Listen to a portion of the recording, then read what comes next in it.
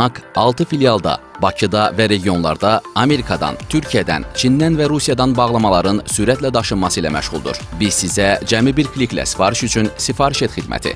Bu xidmətdə hər 100 TL alış-veriş üçün 1 TL bonus, onlayn daşıma ödənişlərində 2% kəşbək, sifarişləri bir kartla, 3 aylıq taksitlə ödəmə imkanı, sürətli kuryer xidməti, əməkdaşlarımızdan xüsusi endirimlər, operativ və müştəri yönümlü xidmət təklif edirik. Hüquqi problemin var? Elə indi Norma azda qeydiyyatdan keç. Peşəkar hüquqşünaslardan məsləhət al. Norma Hüquq Mərkəzi. Hüquq bir gün hər kəsə lazım olur. Qaynar xət Ulduz 0005.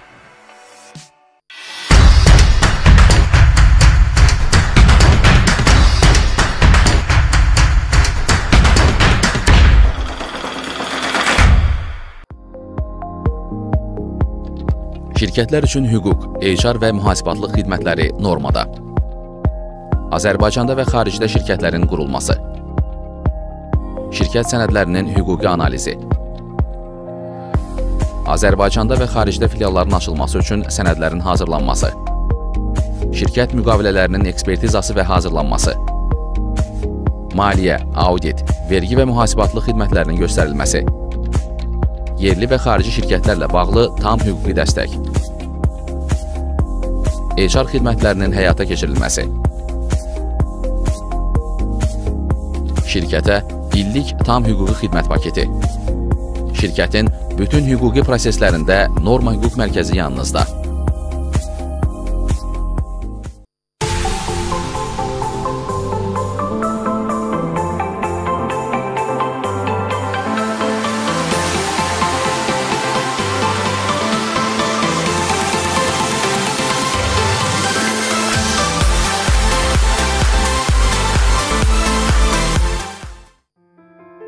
Hüquqi yardıma ehtiyacınız var? Nəyi necə edəcəyinizi bilmirsiniz? Elə isə bizdən məsləhət alın. Bütün hüquqi problemlərinizin həlli bizdədir.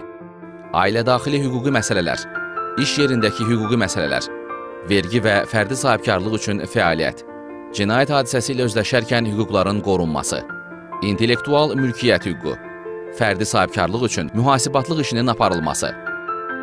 İndi müraciət edin. Peşəkar hüquqşünaslarımız hüquqlarınızı qorusun.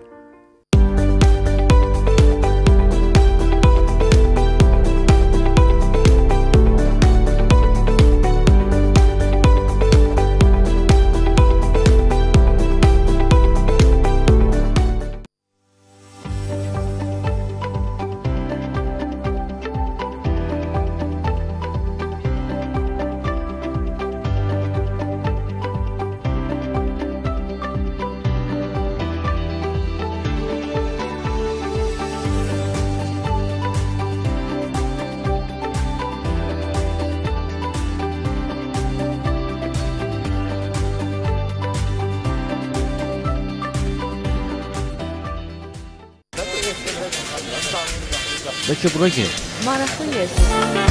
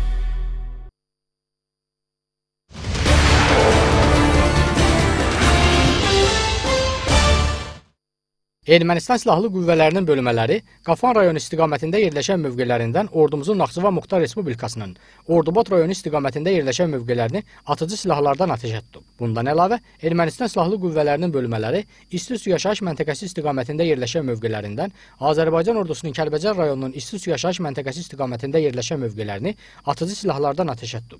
APA xəbər verir ki, bu barədə Müdafiə Nazirliyi məlumat yayıb. Bildirilib ki, bölmələrimiz tərəfindən qeyd olunan istiqamətə cavab tədbirləri görülüb.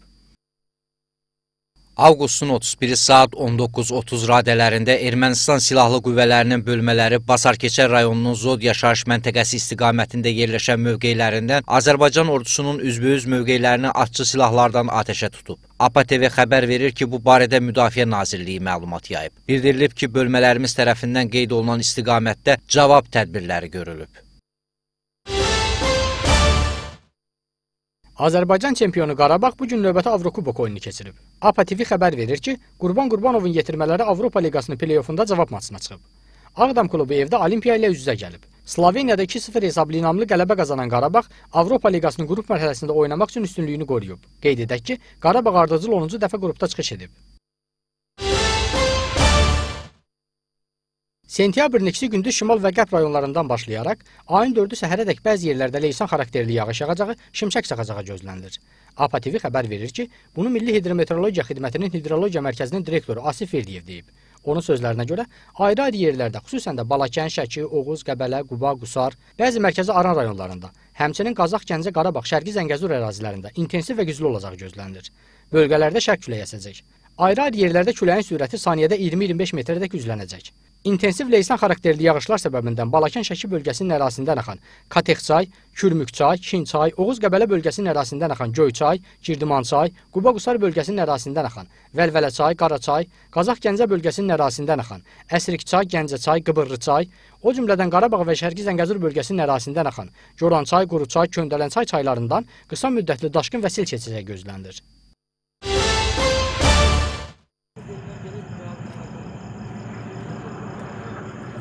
Şəmkirdə ölümlə nəticələnən ağır yol nəqliyyat hadisəsi baş verib. Hadisə Bakı-Qazax-Gürcüstan magistral yolunun rayonun Dəllər Cəyir kəndi ərazisindən keçən hissəsində qeydə alınıb. Tovuz rayon sakini Royal Namazov idarə etdiyi Mercedes markalı minik maşını ilə üzü Qazaq istiqamətdə hərəkətdə olarkən idarə etməni itirib və avtomobil yoldan çıxaraq aşıb. Mən biz burada yaxınlıqda yaşayırıq. Qəza zamanı gəldi, gördük qəza olub. İki nəfər rəhmətə gedib, qalanlarda polis Qəza nəticəsində ölənlər avtomobildə olan sərnişinlər 43 yaşlı Dürdanə Nəbiyeva və onun övladı 21 yaşlı Eyvaz Nəbiyevdir. Xəsarət alan 4 nəfər sürücü, 27 yaşlı Royal Namazov sərnişinlər, 32 yaşlı Bahar Məmmədova, 37 yaşlı Aygün Mustafayeva və 54 yaşlı Mahir Bayramov Şəmkir rayon mərkəzi xəstəxanasına yerləşdirilib. Yaralıların vəziyyəti orta ağır olduğu bildirilir. Hadisə yerinə Baş Dövlət Yol Polisi İdarəsinin əməkdaşları cəlb olunub. Faktla bağlı araşdırmalar aparılır. Cari ilin avqust ayının ilk 10 günlüyündə bağçalara onlayn qeydiyyat valideynlərə xəbərdarlıq edilmədən sıfırlandı. Bununla da uzun müddətdir ki, növbə gözləyən və övladını bağçaya qoymaq üçün günləri sayan valideynlərin arzuları ürəklərində qaldı. Baxmayaraq ki, qeydiyyatın elektronlaşdırılması onların rüşvətsiz və problemsiz bağça düşüncələrini birəmin artırmışdı. İnsanları bir-belə yormaq lazım deyil. Əvvəl necə idi, hamı gedirdi, qeydiyyat heç lazım deyildi. Gedirdin, uşaqları yoxlayırdılar, elə bağçaya da götürürdülər. Düzgün deyil. Yəni bir sözlə. Yəni bir insan iki, iki dəfə əziyyət çəkməli deyil. Yəni bir dəfə qeydiyyatdan keçibsə, ucu rahatcasına ucu belə də qəbul olunmalıdır. Əziyyət çəkirik də, ona görə də hər halda elə həmin qaydanı götürsələr yaxşı olar. Tanışım var idi, 4 ay, 5 ay gözləyiblər. Üzə bağça müddəti gələndə sıfırlanıb da. Demək olar ki, deyir ki, sıfırlayıblar. Eyni əziyyəti tez, yəni çətin olur da çəkmək. Mən əziyyət çəkmişəm, onsuz o uzun bir prosesdir. Mən qeydiyyatdan keçmişəm. Təzədən mənim o bir əziyyətimi sıfıra endirirlər. Təzədən qeydiyyat mənə qaranti verirmi təzədən mən o qeydiyyatdan keçə biləcəmmi deyə. Yəni mən belə deyim, məncə bunlar hamısı sadəcə valideynlər üçün əziyyətdir. Məsələ ilə bağlı Elm və Təhsil Nazirliyi ilə əlaqə saxladıq. Qurumdan bildirildi ki, hazırda ölkə üzrə bağçalarda 20438 boş yer var. Mütəmadi olaraq sistemdə yenilənmə olur. Növbəllik prinsipi ilə boş yerlər üzrə qəbul aparılır. Növbələrin sıfırlanmasına əsas səbəb o idi ki, ə, mövcud bağçaların bir çoxunda ə, keçid zamanı, yəni komplektləşmə zamanı, növbəti keçid zamanı ə, valideynlərin hazırda yaratdığı yaş qruplarının növbəti tədrisində olmaması idi. Məsələn, uşaq bu illəri 2-3 yaş qrupuna yazılıb, amma tutalım bu körpələr evi körpələr evidir növü bağçanın, amma bunun növbəti yaş qrupu, yəni 3-4 yaş qrupu yoxdur deyə onun keçid verməsi artıq bu çox çətin bir məsələdir. O baxımdan da ə, bax növbələr sıfırlandı. Yenidən hər bir valideyn hə, hazırki yaşına uyğun olaraq yenidən növbə yaratsın. Nazirlik bax bu çətin vəziyyəti aradan qaldırmaqdan ötürü nə kimi tədbirlər görür və ya görməyi planlaşdırır? Hal-hazırda bununla bağlı bir çox istər dövlət qurumlarından, istər beynəlxalq təşkilatlarla bağlı işlər aparır, yeni bağçaların açılması ilə bağlı. Hal-hazırda sənədləşmə işində olan təxmini 30-a yaxın ölkə üzrə bağçaların açılması gözlənilir. Ekspertlər düşünür ki, ölkədəki dövlət bağçalarındakı sıxlığı aradan qaldırmaq üçün özəl bağçalara müvafiq qurumlar tərəfindən dəstək göstərilməlidir. Təbii ki, özəl bağçaların da formalaşmasına və eyni zamanda özəl bağçaların dəstək olmasına, dotasiya ayrılmasına e, böyük ehtiyac var. Onların lisenziya verilməsini rahatlaşdırmaq lazımdır ki, və eyni zamanda e, onların ödəniş üsullarında bir nəzarət qurumu olmalıdır ki, yəni ta, tam olaraq da iqtisadi baxımdan baxmamalıyıq. Onlara eyni zamanda e, gələcək təhsilimiz kimi baxaraqdan dəstək bilməli şəkildə olmalıdır. Bax, belə. Mövzunu hazırlayarkən bircə xoş xəbər eşitdik. 30-a yaxın bağça tikiləcək. Hələlik tək sevindirici məqam budur. O da ki, nə vaxt olacağı bəlli deyil.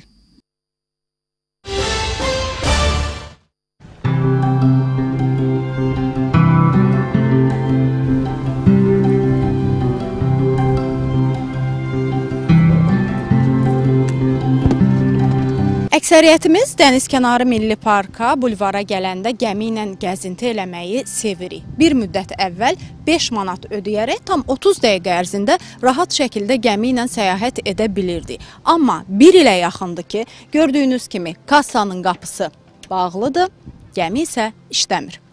Öncələr gəlib gəzirdi, uşaqları da gəzdirirdi. İndi yoxdur, nə, nə səbəbi bilmirəm bəlli də deyil. Açıq olsa yaxşı olardı. İstəyirəm ki, açılsın, mən də gəzə bilərəm. Sən də gəzə bilərsən. Xoşdursan gəmi ilə gəzməyi? Hə. E, yəqin ki, açılsaydı yaxşı olardı, çünki uşaqlar da həvəslidir gəmiyə minmək üçün ki, necə olur. Yəni ümid edirik bir gün açılar. Bəs gəmi gəzintisinin dayandırılması nə ilə əlaqədardır? Dənizkənarı bulvar idarəsindən bildirildi ki, gəmi gəzintisinin dayandırılması Xəzər dənizində suyun səviyyəsinin aşağı düşməsi ilə bağlıdır. Gəmilərin fəaliyyətinin müvəqqəti dayandırılması dənizdə suyun səviyyəsinin aşağı enməsi ilə əlaqədardır. Gəmilər texniki baxışdan keçib və saz vəziyyətdədir. Sadəcə dəniz suyunun səviyyəsinin aşağı enməsi ilə əlaqədar oktyabr ayından etibarən gəmilərin fəaliyyəti müvəqqəti dayandırılıb. Görünən budur ki, dənizkənarı milli parka gəmi gəzintisi həvəsi ilə gələnlər suyun səviyyəsinin qalxmasını gözləməli olacaqlar. Fatma Zahid qızı, Kamran Namazov, APA TV. Abad rayonu Paşatəpə qədim yaşayış məskənində aparılan arxeoloji qazıntılar zamanı Azərbaycan tarixinə aid yeni maddi mədəniyyət nümunələri aşkar edilib. Çoxsaylı tarix tapıntıları arasında insan skeletlərinin qalıqları, qədim insanların dəfn etmə adəti ilə bağlı məlumatları maraq doğurub. Eləcə də ərazidə qədim insanların məşğuliyyəti ilə bağlı neolit dövrünə aid saxsıdan, sümükdən və dəvəgözü daşından hazırlanmış çoxsaylı məişət bəzək əşyaları üzə çıxarılıb. Burada çox ə, kütləvi surətdə belə deyək ki, hədsiz sayda saxsı məmulatı aşkar alınıb. Saxsı məmulatının müxtəlif ə, bəzəklərinə rast gəlinir. O bəzəklər özləri Paşatəpə yaşayış məskənində yaşayan insanların estetik dünya görüşünün yüksək səviyyədə olduğunu göstərir. Ondan başqa sümükdən əmək alətləri, çaxmaqdaşdan əmək alətləri və külli miqdarda dəvədgözü daşından əmək alətləri qeydə alınmışdır. Bu ilki mövsumun ən qiymətli materiallarından biri də burada dəfn etmə, qəbirlərin aşkara çıxarılmasıdır. Qoşa dəfn etmə qeydə alınmışdır. Qəbirdə iki nəfər deməli dəfn edilmişdir. Biri sağ böyrü üstə, biri sol böyrü üstündə təxmini şəkildə üzbəyüz surətdə. Bu mövsümdə qazılan üçüncü sahədən keramika qırıqlarına, saxsı fraqmentlərinə, dəndaşı qırıqlarına və ən əsası sümükdən düzəldilən alətə də rast gəlinib. Aparılan araşdırma nəticəsində də məlum olmuşdur ki, Cəllabad tarixi, qədim tarixi zəngindir. Qədim dövrlərə gedib çıxır. Hətta Neolit dövründə də burada yaşayış olduğunun bir daha sübutu olur. Buradan tapılan eksponatlardan da biz bir daha görürük ki, burada e, əmək alətləri e, zənginliyi, e, müxtəlif dəfn etmə adətləri e, və həmçinin də buradan tapılan müxtəlif fiqurlar onu göstərir ki, burada insanlar qədim dövrdən yaşamışlar. Mütəxəssislərin sözlərinə görə Paşatəpə artikatının araşdırılması Qafqaz arxeologiyasında ilkin əkinçilik mədəniyyəti və sənətkarlıqla bağlı yenilikləri üzə çıxara bilər. İlkin Rızayev, Rövşən Almazoğlu, Aytac Natiq qızı, APA TV.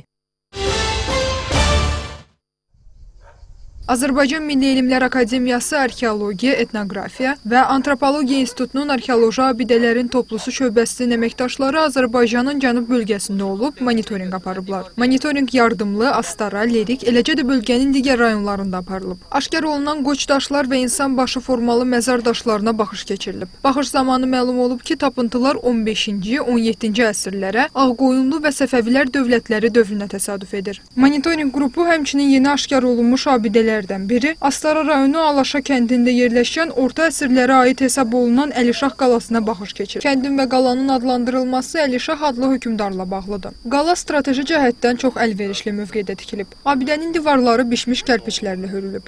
Bu qalanın tapılması da təsadüf nəticəsində baş vermişdir. Deməli, burada Astara Əllə Bakı magistral yolunun çəkilişi üçün burada müəyyən yol üçün xamballar aparılmalı imiş.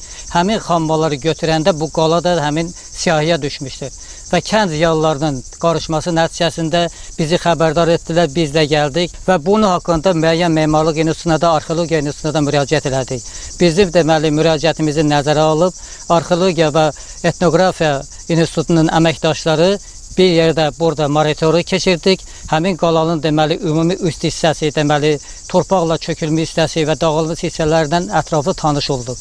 Həmin mütəxəssislər belə qərara gəldilər ki, buranın həm strateji əhəmiyyəti var, həm də ki, buranın deməli müəyyən deməli bu qazıntı işlərinə, arxeologiya işləri ilə əlaqəli arxeoloji işlərin aparılması lazımdır. Və el arasında həmçinin bu qalaya Divəkə qalası da deyilir e, qeyd edək ki, Div qalasıdır. Bura əslində belə baxış keçiləndə strateji baxımdan çox əlverişli bir yerdə tikilibdir. Hal-hazırda biz İranla sərhəddəyik gördüyünüz kimi və buradan ətrafı və şimal tərəfi də qəşəng müşahidə etmək olur. Çünki dənizə hər hansı bir e, hücum olarsa, bu gözəlçi məntəqəsindən buradan aydın görsənir.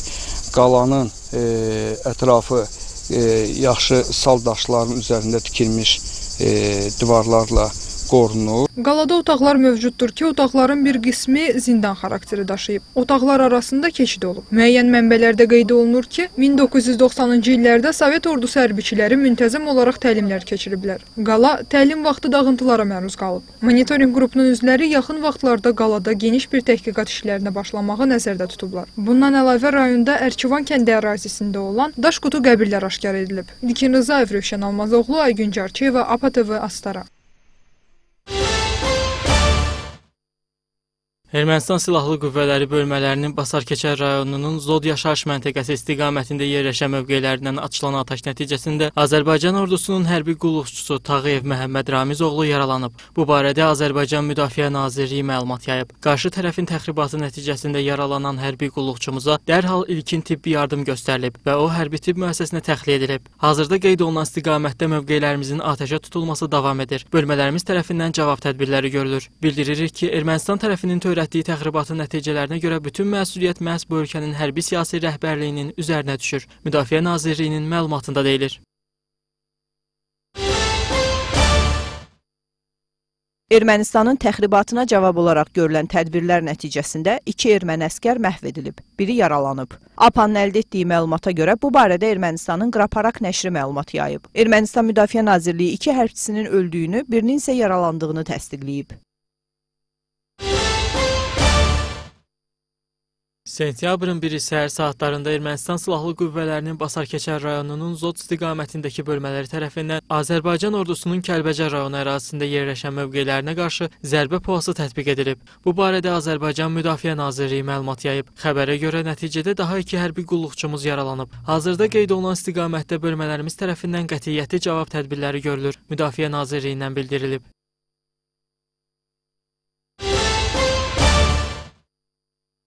Ermənistan Silahlı Qüvvələrinin bölmələri Basarkeçər rayonunun Zod istiqamətində yerləşən atəş mövqələrindən Azərbaycan ordusunun Kəlbəcər rayonu istiqamətində yerləşən mövqələrini artilleriya atəşinə tutub. Bu barədə Azərbaycan Müdafiə Nazirliyi məlumat yayıb.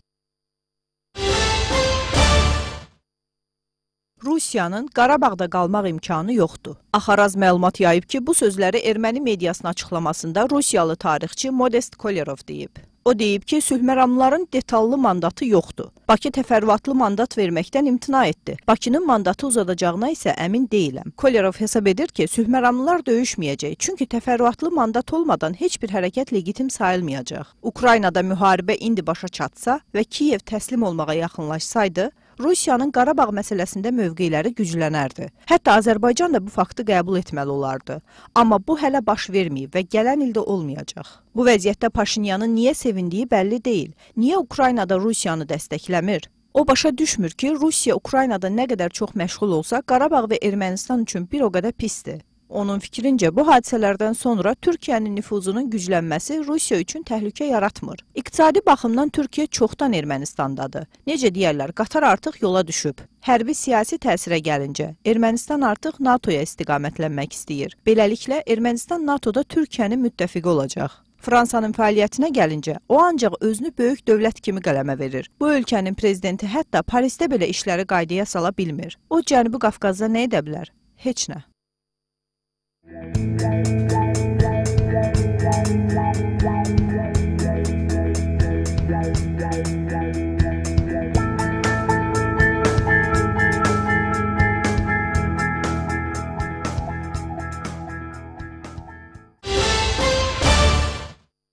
Bir neçə gündür ki, Cəllabadda üzüm yığımına başlanılıb. Üzümü ilə məşğul olan Cəllabad rayonunda bu ildə sahələrdə məhsuldarlıq yüksəkdir.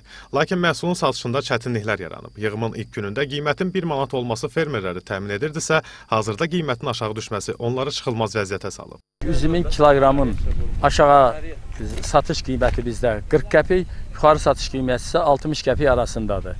Bunlar da bu da demək olar ki, bizim bir ildə becərmə, ağır-texniki becərmələrə, xəstəlik və ziyanvericiliyə qarşı mübarizəyə, fəhləyə verilən əmək haqqı, ağrının və bir qədərə verilən əmək haqqı, bütün bunlar toplananda hektara üzümün maya dəyər gəlib 4000 manata başa gəlir. Üzümü isə 10 ton üzüm götürüb 50 qəpiyə, 60 qəpiyə satanda da bu da hardasa hektardan 5000-6000 manat pul edir ki, bunlar da elə ortada məhsul yığımı dövründə demək olar ki, sair xərclər sırasında ortadan gedir. Prima sortudur. Yəni bağımız hamısı süfrə sortudur. Ən tez yetişəni primadır. Yəni qəşəng sortlar var. Məsələn, Atika, Prima, Victoria, Alfons. Ən tez yetişəni, ən məsələn tez satılanı, bazara çıxanı Primadır. İnşallah onun yığımı başlamış, o ikinci gündə davam edirik. Məhsullara demək olar, elə elə üzüm var ki, bu il keçənkindən yaxşıdır. Bu elə sort var ki, keçən il bundan yaxşı idi. Ölkə bazarlarında topdan və pərakəndə satışla məşğul olanlar hazırda üzmə böyük tələbatın olduğunu deyirlər. Alıcılar bildirir ki, qiymətlər məhsul bolluğuna, eləcə də bazara və tələbata görə dəyişir. Buradan üzümü alıb aparırıq, Bakıya paylayırıq. Alış qabiliyyəti yaxşıdır, normaldır. Tələbat var üzümə. 60 qəpiyə alırıq. 80 qəpiyə, 90 qəpiyə beləncə satışıdır. Gün aşıra gəlirik, bir gün gəlirik, bir gün qalırıq, növbəti günü yenidən gəlirik. Ola bilsin üzüm çoxaldıqca üzümə tələbat artdıqca yüksələ bilər qiyməti, ola bilsin də eynədə bilər. Fermerlər real vəziyyəti dəyişmək və sahələrə qoyulan kapitalın azaldılması üçün növbəti illərdə yeni üzüm sortları becərməyə qərar verdiklərini bildirirlər. İndi biz elə qərara gəlmişik ki, üzüm sortlarının hansı əvvəl gətirmişik, Prima sortudur, Ora sortudur, e, Kardinal sortudur. Bunların becərilməsi çətin olduğu kimi üzüm yığımında da demək olar ki, qiymətləri, qiyməti çox aşağı səviyyədə 40 qəpi ilə 55 qəpi arasında üzüm satışıdır. Ona görə biz indi üzümçilər, üzümçülük təsərrüfatlarında qərara gəlmişik ki, bu il növbəti illərdə həmin sortları ləğ ləğv eləyək, çünki bizə heç bir gəlir gətirmir. İndi imkan dairəsində onların yerinə pula gedən, yaxşı satışa gedən üzüm sortlarına bərpa eləmək fikrindəyik. Qeyd edək ki, bu il rayonda 1453 hektar ərazidə üzüm əkini həyata keçirilib və bu günə kimi sahələrdən 1500 tona yaxın süfrə üzümünün yığımı aparılıb. İlkin Rzayev, Rövşən Almazoğlu, Ana Rəhimov, Apata və Cəllabad. Lənkəran rayonunun Göyşaban kəndi ərazisində dənizə gedən yol zibillik poliqonuna çevrilib. Ətrafa yayılan pis qoxu sakinləri narahat edir. Üstəlik üfunətli ərazi sahibsiz heyvanların tullantılardan qidalanmasına şərait yaradır. Təbii ki, bu da gecə saatlarında həmin ərazidən keçən sakinlər üçün təhlükə yaradır. Görürsən ki, axşam çağlar bir yanlardan maşınlar keçəndə, gözə xəbərimiz olmadan gecə də qaranlığa görsən zirzibil atırlar. Dəfələrlə demişik onlara, müraciət eləyirik. Buna baxan yoxdur. Xahiş edirik aidiyyatı qurumlardan. Heç olmasa bu yanlara bir əncam çəksinlər. Gecələr görsən ha, vəhşi heyvanlardan olur, görsən çaqqal, ihtiyat, üzdən iraq. Bir yanları görsən ha, basılır, uşaqlar qorxurlar. Baxan yoxdur. Görsən maşınlar gəlir, boşaldır zibilləri. Heç baxan yox ki, nədir, nə deyir. Burada açınay var burada. Təmizlənməmiş su buraxırlar kanaldan. Dənizin indi oturmaq olmur. İskünlər buraxırlar. Axşam sən itinəli çaqqallar oluyor. Elə bilsən ki, cəngəlidə yaşayırıq. Əvvəl bura elə idi tərtəmiz. Sonradan bu hala. Baxan olmadı, düşdü bu hala. Bəlkə burada simir, dənizlərdə simirdi uşaqlar. Cəllabaddan belə gəlirdilər, Sabirabaddan belə gəlirdilər. Hal-hazırda vəziyyət bir yerdədir.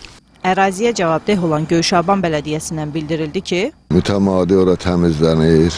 Ona baxmayaraq axşam saatlarında naməlum şəxslər tərəfindən gətirib ora zibil tökürlər. Nəzarətçi də qoymuşuq, nəzarətçi də gündüz baxır, axşam baxa bilmir. Yaxın günlərdə təzədən planlaşdırmışıq, bir daha həmin yerdə təmizlik işləri aparacağıq. Bələdiyyədən aldığımız məlumata görə kənd daxilində məişət tullantılarının yığışdırılması üçün həftə ərzində ərazilərə 3 dəfə maşınlar çıxarılır. Sakinlərin qapılarda qoyduğu tullantılar toplanır və zibil poliqonuna aparılır. Bircə sahilə gedən yoldakı zibil poliqonu da çimərlik görkəminə qaytarılsaydı, sakinlər dəniz havası udardılar. İlkin Rzayev, Rövşən Almazoğlu, Aynur Qara, APA TV Lənkəran.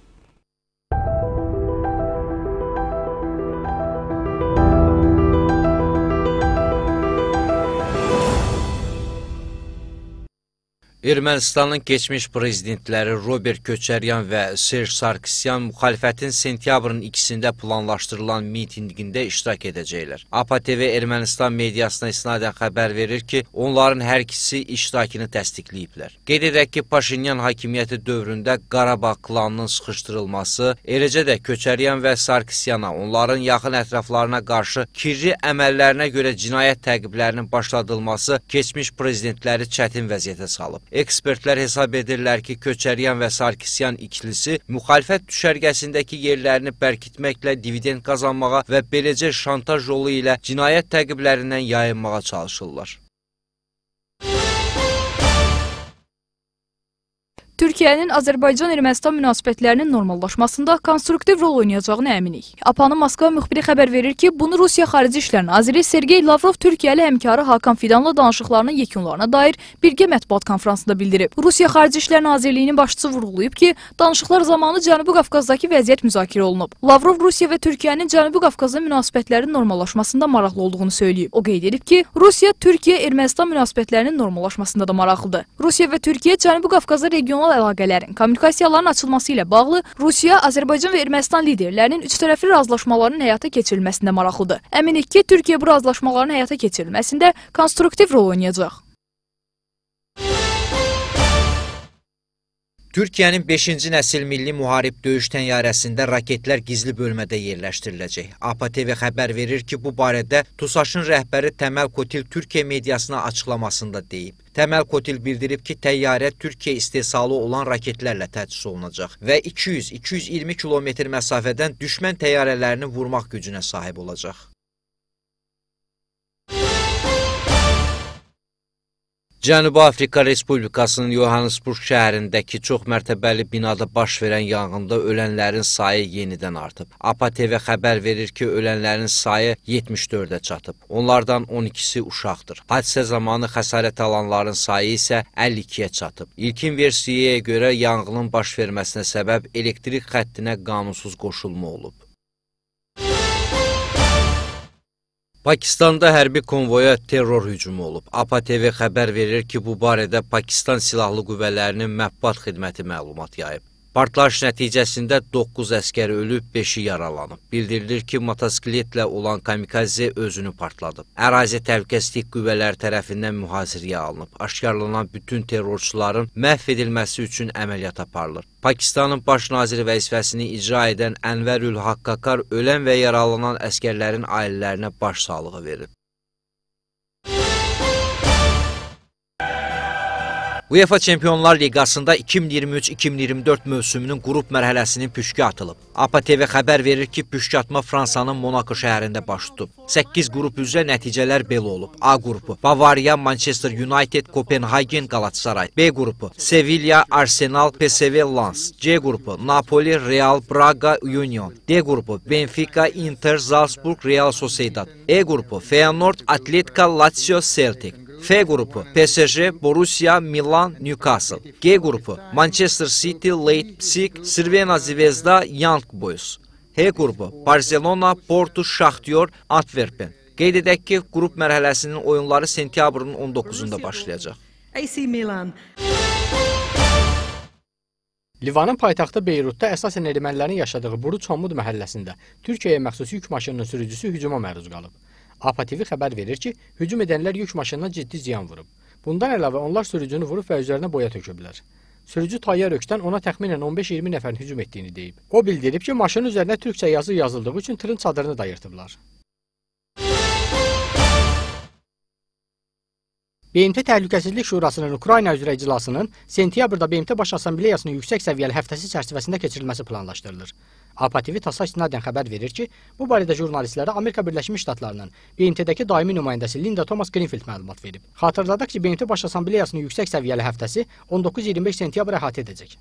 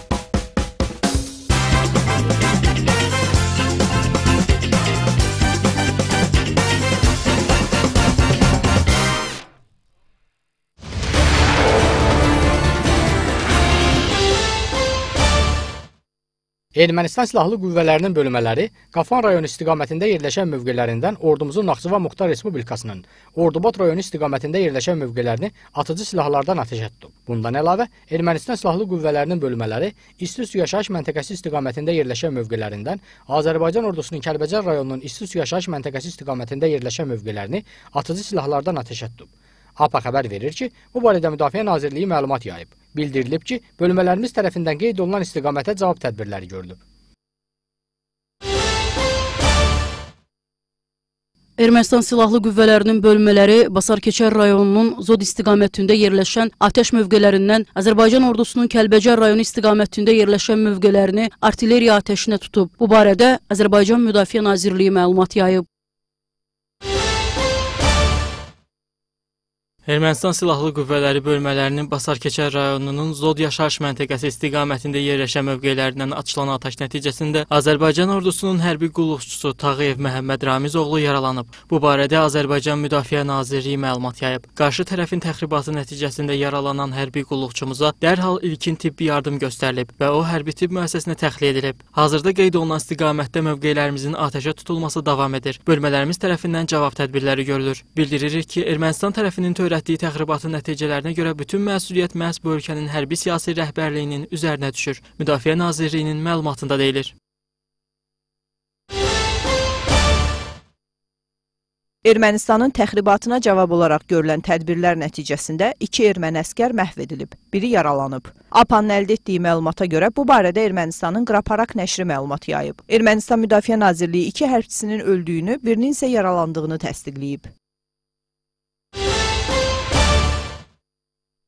Sentyabrın 1-i səhər saatlarında Ermənistan Silahlı Qüvvələrinin Basarkeçər rayonunun Zod istiqamətindəki bölmələri tərəfindən Azərbaycan ordusunun Kəlbəcər rayonu ərazisində yerləşən mövqelərinə qarşı zərbə puası tətbiq edilib. Bu barədə Azərbaycan Müdafiə Nazirliyi məlumat yayıb. Xəbərə görə nəticədə daha iki hərbi qulluqçumuz yaralanıb. Hazırda qeyd olunan istiqamətdə bölmələrimiz tərəfindən qətiyyətli cavab tədbirləri görülür. Müdafiə Nazirliyindən bildirilib.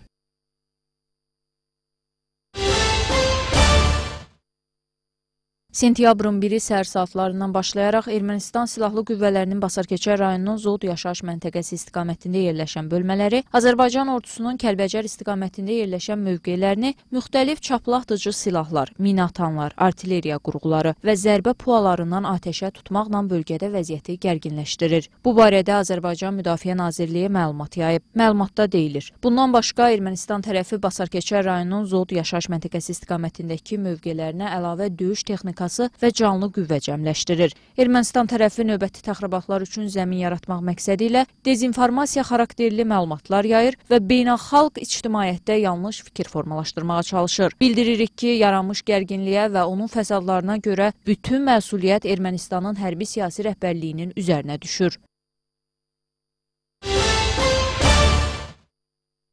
Rusiyanın Qarabağda qalmaq imkanı yoxdur. Axaraz məlumat yayıb ki, bu sözləri erməni mediasının açıqlamasında Rusiyalı tarixçi Modest Kolerov deyib. O deyib ki, sülhməramlıların detallı mandatı yoxdur. Bakı təfərrüatlı mandat verməkdən imtina etdi. Bakının mandatı uzadacağına isə əmin deyiləm. Kolerov hesab edir ki, sülhməramlılar döyüşməyəcək, çünki təfərrüatlı mandat olmadan heç bir hərəkət legitim sayılmayacaq. Ukraynada müharibə indi başa çatsa və Kiyev təslim olmağa yaxınlaşsaydı, Rusiyanın Qarabağ məsələsində mövqeləri güclənərdi. Hətta Azərbaycan da bu faktı qəbul etməli olardı. Amma bu hələ baş verməyib və gələn ildə olmayacaq. Bu vəziyyətdə Paşinyanın niyə sevindiyi bəlli deyil. Niyə Ukraynada Rusiyanı dəstəkləmir? O başa düşmür ki, Rusiya Ukraynada nə qədər çox məşğul olsa, Qarabağ və Ermənistan üçün bir o qədər pisdir. Onun fikrincə bu hadisələrdən sonra Türkiyənin nüfuzunun güclənməsi Rusiya üçün təhlükə yaratmır. İqtisadi baxımdan Türkiyə çoxdan Ermənistandadır. Necə deyərlər, qatar artıq yola düşüb. Hərbi siyasi təsirə gəlincə, Ermənistan artıq NATO-ya istiqamətlənmək istəyir. Beləliklə, Ermənistan NATO-da Türkiyənin müttəfiqi olacaq. Fransanın fəaliyyətinə gəlincə, o ancaq özünü böyük dövlət kimi qələmə verir. Bu ölkənin prezidenti hətta Parisdə belə işləri qaydaya sala bilmir. O Cənubi Qafqazda nə edə bilər? Heç nə. Azərbaycan çempionu Qarabağ bu gün növbəti Avrokubok oyununu keçirib. APA TV xəbər verir ki, Qurban Qurbanovun yetirmələri Avropa Liqasının play-offunda cavab maçına çıxıb. Ağdam klubu evdə Olimpiya ilə üz-üzə gəlib. Sloveniyada 2-0 hesablı inamlı qələbə qazanan Qarabağ Avropa Liqasının qrup mərhələsində oynamaq üçün üstünlüyünü qoruyub. Qeyd edək ki, Qarabağ ardıcıl 10-cu dəfə qrupda çıxış edib. Sentyabrın 2-si gündüz şimal və qərb rayonlarından başlayaraq ayın 4-ü səhərədək bəzi yerlərdə leysan xarakterli yağış yağacağı, şimşək çaxacağı gözlənilir. APA TV xəbər verir ki, bunu Milli Hidrometeorologiya Xidmətinin Hidrologiya Mərkəzinin direktoru Asif Verdiyev deyib. Onun sözlərinə görə ayrı-ayrı yerlərdə, xüsusən də Balakən, Şəki, Oğuz, Qəbələ, Quba, Qusar, bəzi mərkəzi Aran rayonlarında, həmçinin Qazax, Gəncə, Qarabağ, Şərqi Zəngəzur ərazilərində intensiv və güclü olacağı gözlənilir. Bölgələrdə şərq küləyi əsəcək. Ayrı-ayrı yerlərdə küləyin sürəti saniyədə 20-25 metrədək güclənəcək. İntensiv leysan xarakterli yağışlar səbəbindən Balakən Şəki bölgəsinin ərazisindən axan Katexçay, Kürmükçay, Çinçay, Oğuz Qəbələ bölgəsinin ərazisindən axan Göyçay, Girdimançay, Quba Qusar bölgəsinin ərazisindən axan Vəlvələçay, Qaraçay, Qazax Gəncə bölgəsinin ərazisindən axan Əsrikçay, Gəncəçay, Qıbrıçay, o cümlədən Qarabağ və Şərqi Zəngəzur bölgəsinin ərazisindən axan Gorançay, Quruçay, Köndələnçay çaylarından qısa müddətli daşqın və sil keçəcəyi gözlənilir.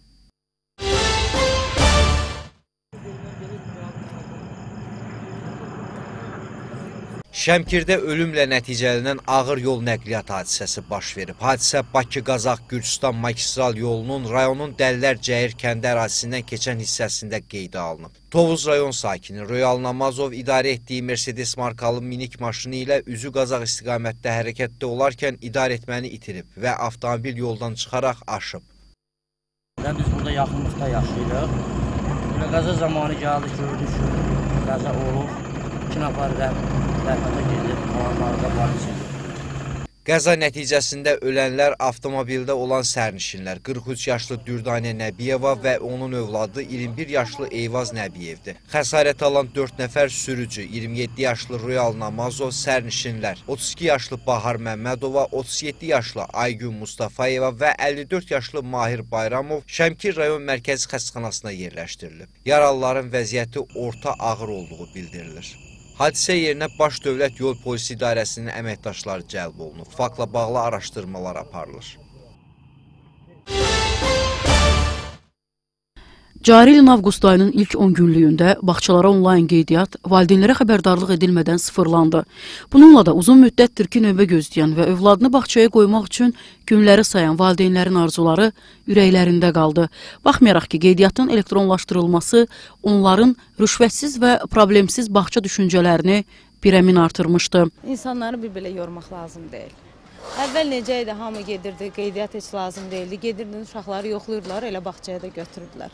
Düzgün deyil. Yəni bir sözlə. Yəni bir insan iki, iki dəfə əziyyət çəkməli deyil. Yəni bir dəfə qeydiyyatdan keçibsə, ucu rahatcasına ucu belə də qəbul olunmalıdır. Əziyyət çəkirik də, ona görə də hər halda elə həmin qaydanı götürsələr yaxşı olar. Tanışım var idi, 4 ay, 5 ay gözləyiblər. Üzə bağça müddəti gələndə sıfırlanıb da. Demək olar ki, deyir ki, sıfırlayıblar. Eyni əziyyəti tez yəni çətin olur da çəkmək. Mən əziyyət çəkmişəm, onsuz o uzun bir prosesdir. Mən qeydiyyatdan keçmişəm. Təzədən mənim o bir əziyyətimi sıfıra indirirlər. Təzədən qeydiyyat mənə garanti verirmi təzədən mən o qeydiyyatdan keçə biləcəmmi deyə. Yəni mən belə deyim, məncə bunlar hamısı sadəcə valideynlər üçün əziyyətdir. Məsələ ilə bağlı Elm və Təhsil Nazirliyi ilə əlaqə saxladıq. Qurumdan bildirildi ki, hazırda ölkə üzrə bağçalarda 20438 boş yer var. Mütəmadi olaraq sistemdə yenilənmə olur. Növbəllik prinsipi ilə boş yerlər üzrə qəbul aparılır. Növbələrin sıfırlanmasına əsas səbəb o idi ki, ə, mövcud bağçaların bir çoxunda ə, keçid zamanı, yəni komplektləşmə zamanı, növbəti keçid zamanı ə, valideynlərin hazırda yaratdığı yaş qruplarının növbəti tədrisində olmaması idi. Məsələn, uşaq bu illəri 2-3 yaş qrupuna yazılıb, amma tutalım bu körpələr evi körpələr evidir növü bağçanın, amma bunun növbəti yaş qrupu, yəni 3-4 yaş qrupu yoxdur deyə onun keçid verməsi artıq bu çox çətin bir məsələdir. O baxımdan da ə, bax növbələr sıfırlandı. Yenidən hər bir valideyn hə, hazırki yaşına uyğun olaraq yenidən növbə yaratsın. Nazirlik bax bu çətin vəziyyəti aradan qaldırmaqdan ötürü nə kimi tədbirlər görür və ya görməyə planlaşdırır? Hal-hazırda bununla bağlı bir çox istər dövlət qurumlarından, istər beynəlxalq təşkilatlarla bağlı işlər aparır, yeni bağçaların açılması ilə bağlı. Hal-hazırda sənədləşmə işində olan təxmini 30-a yaxın ölkə üzrə bağçaların açılması gözlənilir. Ekspertlər düşünür ki, ölkədəki dövlət bağçalarındakı sıxlığı aradan qaldırmaq üçün özəl bağçalara müvafiq qurumlar tərəfindən dəstək göstərilməlidir. Təbii ki, özəl bağçaların da formalaşmasına və eyni zamanda özəl bağçaların dəstək olmasına, dotasiya ayrılmasına e, böyük ehtiyac var olan lisenziya verilməsini rahatlaşdırmaq lazımdır ki, və eyni zamanda e, onların ödəniş üsullarında bir nəzarət qurumu olmalıdır ki, yəni ta, tam olaraq da iqtisadi baxımdan baxmamalıyıq. Onlara eyni zamanda e, gələcək təhsilimiz kimi baxaraqdan dəstək bilməli şəkildə olmalıdır. Bax belə, mövzunu hazırlayarkən bircə xoş xəbər eşitdik. 30-a yaxın bağça tikiləcək. Hələlik tək sevindirici məqam budur. O da ki, nə vaxt olacağı bəlli deyil.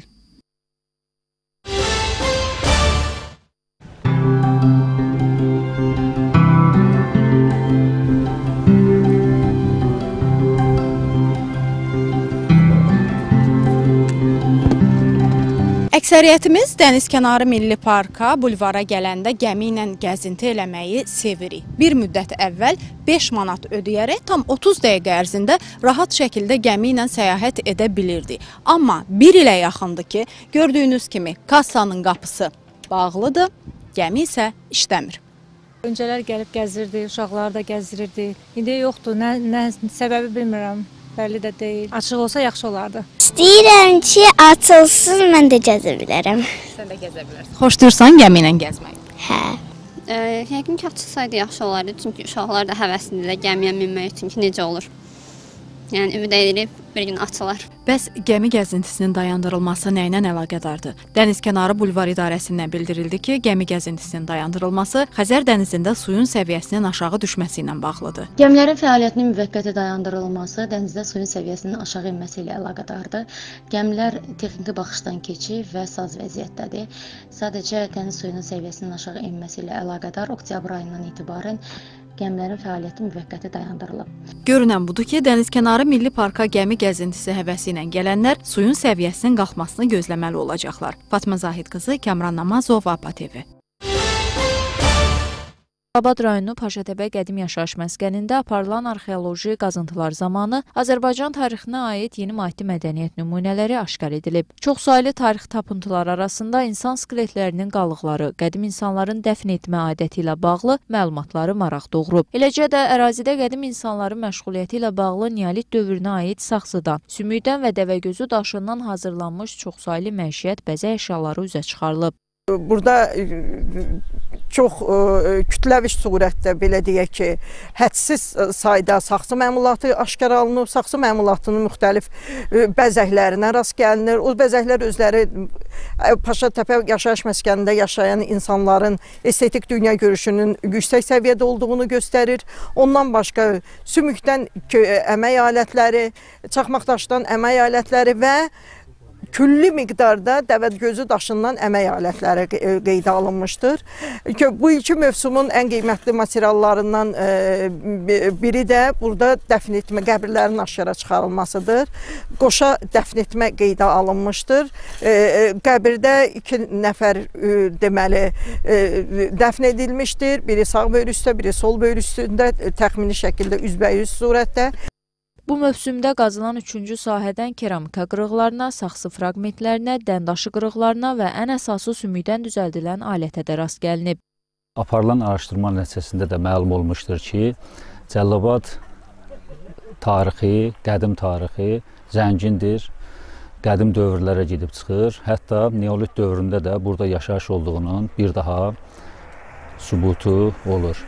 Buradan tapılan eksponatlardan da biz bir daha görürük ki, burada e, əmək alətləri e, zənginliyi, e, müxtəlif dəfn etmə adətləri e, və həmçinin də buradan tapılan müxtəlif fiqurlar onu göstərir ki, burada insanlar qədim dövrdən yaşamışlar.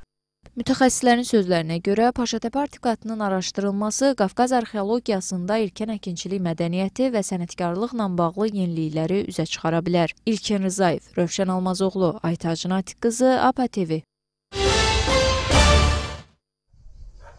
Azərbaycan Milli Elmlər Akademiyası Arxeologiya, Etnoqrafiya və Antropologiya İnstitutunun arxeoloji abidələrin toplusu şöbəsinin əməkdaşları Azərbaycanın cənub bölgəsində olub, monitorinq aparıblar. Monitorinq yardımlı, Astara, Lerik, eləcə də bölgənin digər rayonlarında aparılıb. Aşkar olunan qoç daşlar və insan başı formalı məzar daşlarına baxış keçirilib. Baxış zamanı məlum olub ki, tapıntılar 15-ci, 17-ci əsrlərə, Ağqoyunlu və Səfəvilər dövlətləri dövrünə təsadüf edir. Monitorinq qrupu həmçinin yeni aşkar olunmuş abidələr məhəllələrdən biri Astara rayonu Alaşa kəndində yerləşən orta əsrlərə aid hesab olunan Əlişah qalasına baxış keçir. Kəndin və qalanın adlandırılması Əlişah adlı hökmdarla bağlıdır. Qala strateji cəhətdən çox əlverişli mövqedə tikilib. Abidənin divarları bişmiş kərpiçlərlə hörülüb.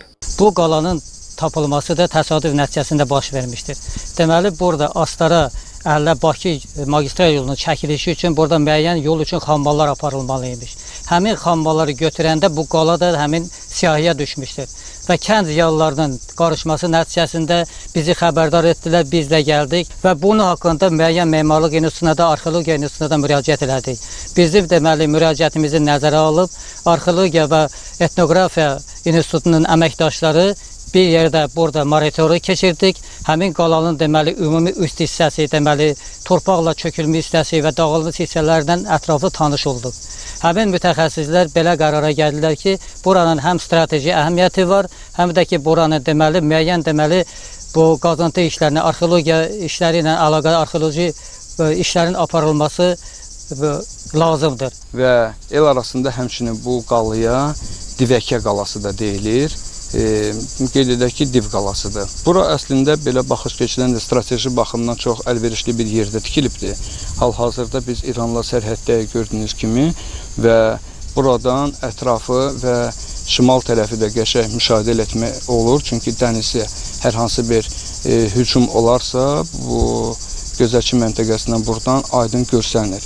Qalanın e, ətrafı e, yaxşı sal daşların üzərində tikilmiş divarlarla qorunur. Qalada otaqlar mövcuddur ki, otaqların bir qismi zindan xarakteri daşıyıb. Otaqlar arasında keçid olub. Müəyyən mənbələrdə qeyd olunur ki, 1990-cı illərdə Sovet ordusu hərbiçiləri müntəzəm olaraq təlimlər keçiriblər. Qala təlim vaxtı dağıntılara məruz qalıb. Monitorinq qrupunun üzvləri yaxın vaxtlarda qalada geniş bir təhqiqat işlərinə başlamağı nəzərdə tutublar. Bundan əlavə rayonda Ərkivan kəndi ərazisində olan daş qutu qəbirlər aşkar edilib. İlkin Rızaev, Rövşən Almazoğlu, Aygün Carçıyeva, APTV Astara. Bir neçə gündür ki, Cəllabadda üzüm yığımına başlanılıb. Üzümü ilə məşğul olan Cəllabad rayonunda bu ildə sahələrdə məhsuldarlıq yüksəkdir. Lakin məhsulun satışında çətinliklər yaranıb. Yığımın ilk günündə qiymətin 1 manat olması fermerləri təmin edirdisə, hazırda qiymətin aşağı düşməsi onları çıxılmaz vəziyyətə salıb. Üzümün kiloqramın aşağı satış qiyməti bizdə 40 qəpik, yuxarı satış qiyməti isə 60 qəpik arasındadır. Bunlar da, bu da demək olar ki, bizim bir ildə becərmə, texniki becərmələrə, xəstəlik və ziyanvericiliyə qarşı mübarizəyə, fəhləyə verilən əmək haqqı, ağrının və bir qədərə verilən əmək haqqı, bütün bunlar toplananda hektara üzümün maya dəyər gəlib 4000 manata başa gəlir. Üzümü isə 10 ton üzüm götürüb 50 qəpiyə, 60 qəpiyə satanda da bu da hardasa hektardan 5000-6000 manat pul edir ki, bunlar da elə ortada məhsul yığımı dövründə demək olar ki, sair xərclər sırasında ortadan gedir. Prima sortudur. Yəni bağımız hamısı süfrə sortudur. Ən tez yetişəni primadır. Yəni qəşəng sortlar var. Məsələn, Atika, Prima, Victoria, Alfons. Ən tez yetişəni, ən məsələn tez satılanı, bazara çıxanı primadır. İnşallah onun yığımı başlamış, o ikinci gündə davam edirik. Məhsullara demək olar, elə elə üzüm var ki, bu il keçənkindən yaxşıdır. Bu elə sort var ki, keçən il bundan yaxşı idi. Ölkə bazarlarında topdan və pərakəndə satışla məşğul olanlar hazırda üzmə böyük tələbatın olduğunu deyirlər. Alıcılar bildirir ki, qiymətlər məhsul bolluğuna, eləcə də bazara və tələbata görə dəyişir.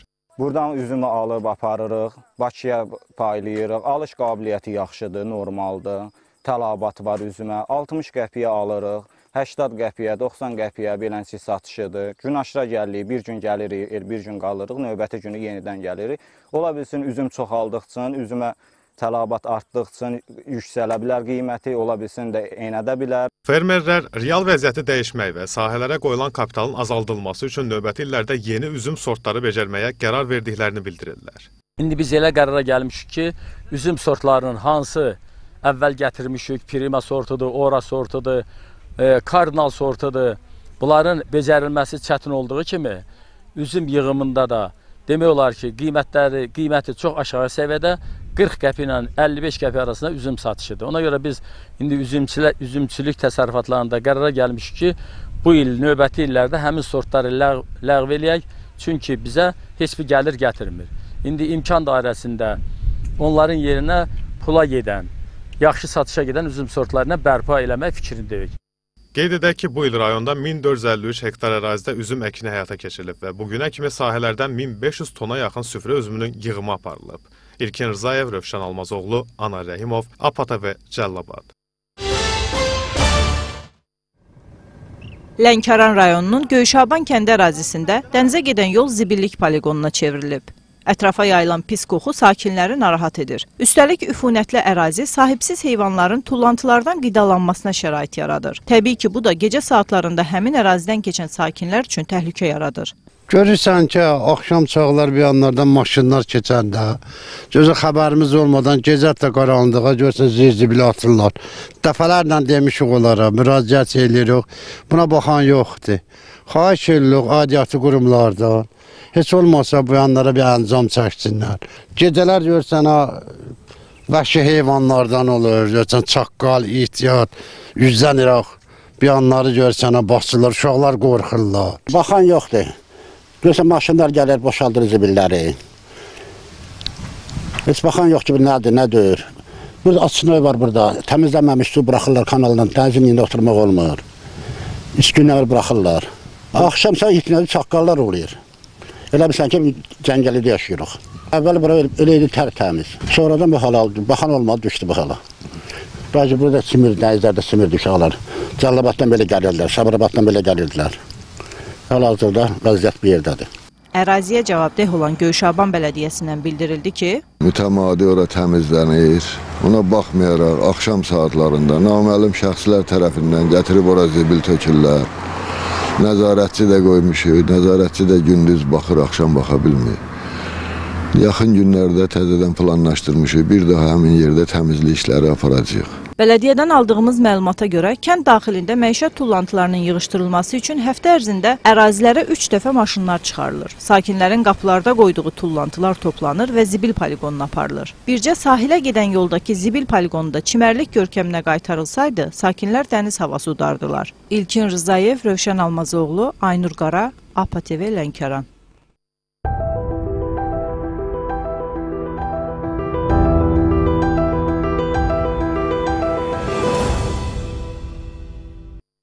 Ermənistanın keçmiş prezidentləri Robert Köçəryan və Serj Sarkisyan müxalifətin sentyabrın ikisində planlaşdırılan mitinqində iştirak edəcəklər. APA TV Ermənistan mediasına isnadən xəbər verir ki, onların hər ikisi iştirakını təsdiqləyiblər. Qeyd edək ki, Paşinyan hakimiyyəti dövründə Qarabağ klanının sıxışdırılması, eləcə də Köçəryan və Sarkisyana, onların yaxın ətraflarına qarşı kirri əməllərinə görə cinayət təqiblərinin başladılması keçmiş prezidentləri çətin vəziyyətə salıb. Ekspertlər hesab edirlər ki, Köçəryan və Sarkisyan ikilisi müxalifət düşərgəsindəki yerlərini bərkitməklə dividend qazanmağa və beləcə şantaj yolu ilə cinayət təqiblərindən yayınmağa çalışırlar. Türkiyənin Azərbaycan-Ermənistan münasibətlərinin normallaşmasında konstruktiv rol oynayacağını əminik. APA-nın Moskva müxbiri xəbər verir ki, bunu Rusiya Xarici İşlər Naziri Sergey Lavrov Türkiyəli həmkarı Hakan Fidanla danışıqlarının yekunlarına dair birgə mətbuat konfransında bildirib. Rusiya Xarici İşlər Nazirliyinin başçısı vurğulayıb ki, danışıqlar zamanı Cənubi Qafqazdakı vəziyyət müzakirə olunub. Lavrov Rusiya və Türkiyənin Cənubi Qafqazda münasibətlərin normallaşmasında maraqlı olduğunu söyləyib. O qeyd edib ki, Rusiya Türkiyə-Ermənistan münasibətlərinin normallaşmasında da maraqlıdır. Rusiya və Türkiyə Cənubi Qafqazda regional regional əlaqələrin, kommunikasiyaların açılması ilə bağlı Rusiya, Azərbaycan və Ermənistan liderlərinin üçtərəfli razılaşmaların həyata keçirilməsində maraqlıdır. Əminik ki, Türkiyə bu razılaşmaların həyata keçirilməsində konstruktiv rol oynayacaq. Türkiyənin 5-ci nəsil milli müharib döyüş təyyarəsində raketlər gizli bölmədə yerləşdiriləcək. APA TV xəbər verir ki, bu barədə TUSAŞın rəhbəri Təməl Kotil Türkiyə mediasına açıqlamasında deyib. Təməl Kotil bildirib ki, təyyarə Türkiyə istehsalı olan raketlərlə təchiz olunacaq və 200-220 kilometr məsafədən düşmən təyyarələrini vurmaq gücünə sahib olacaq.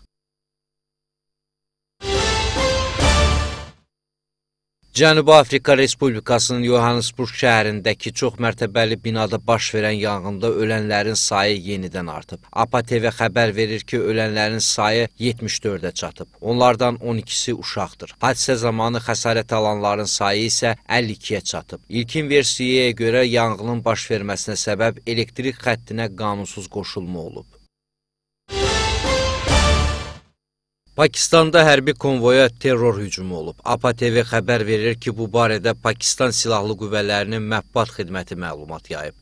Partlayış nəticəsində 9 əskər ölüb, 5-i yaralanıb. Bildirilir ki, motosikletlə olan kamikaze özünü partladıb. Ərazi təhlükəsizlik qüvvələri tərəfindən mühasirəyə alınıb. Aşkarlanan bütün terrorçuların məhv edilməsi üçün əməliyyat aparılır. Pakistanın baş naziri vəzifəsini icra edən Ənvərül Haqqaqar ölən və yaralanan əskərlərin ailələrinə başsağlığı verib.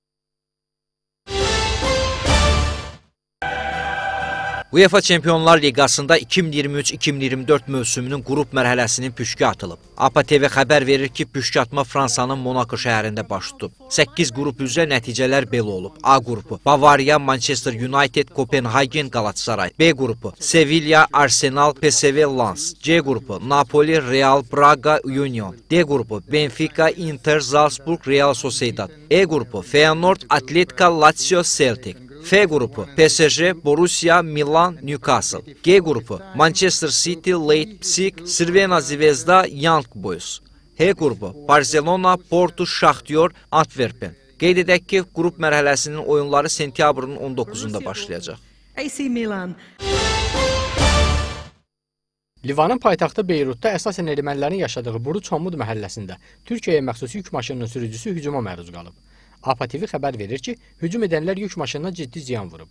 Bundan əlavə onlar sürücünü vurub və üzərinə boya töküblər.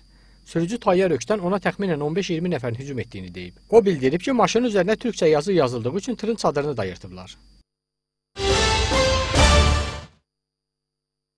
BMT Təhlükəsizlik Şurasının Ukrayna üzrə iclasının sentyabrda BMT Baş Assambleyasının yüksək səviyyəli həftəsi çərçivəsində keçirilməsi planlaşdırılır. APA TV TASS istinadən xəbər verir ki, bu barədə jurnalistlərə Amerika Birləşmiş Ştatlarının BMT-dəki daimi nümayəndəsi Linda Thomas Greenfield məlumat verib. Xatırladaq ki, BMT Baş Assambleyasının yüksək səviyyəli həftəsi 19-25 sentyabr əhatə edəcək.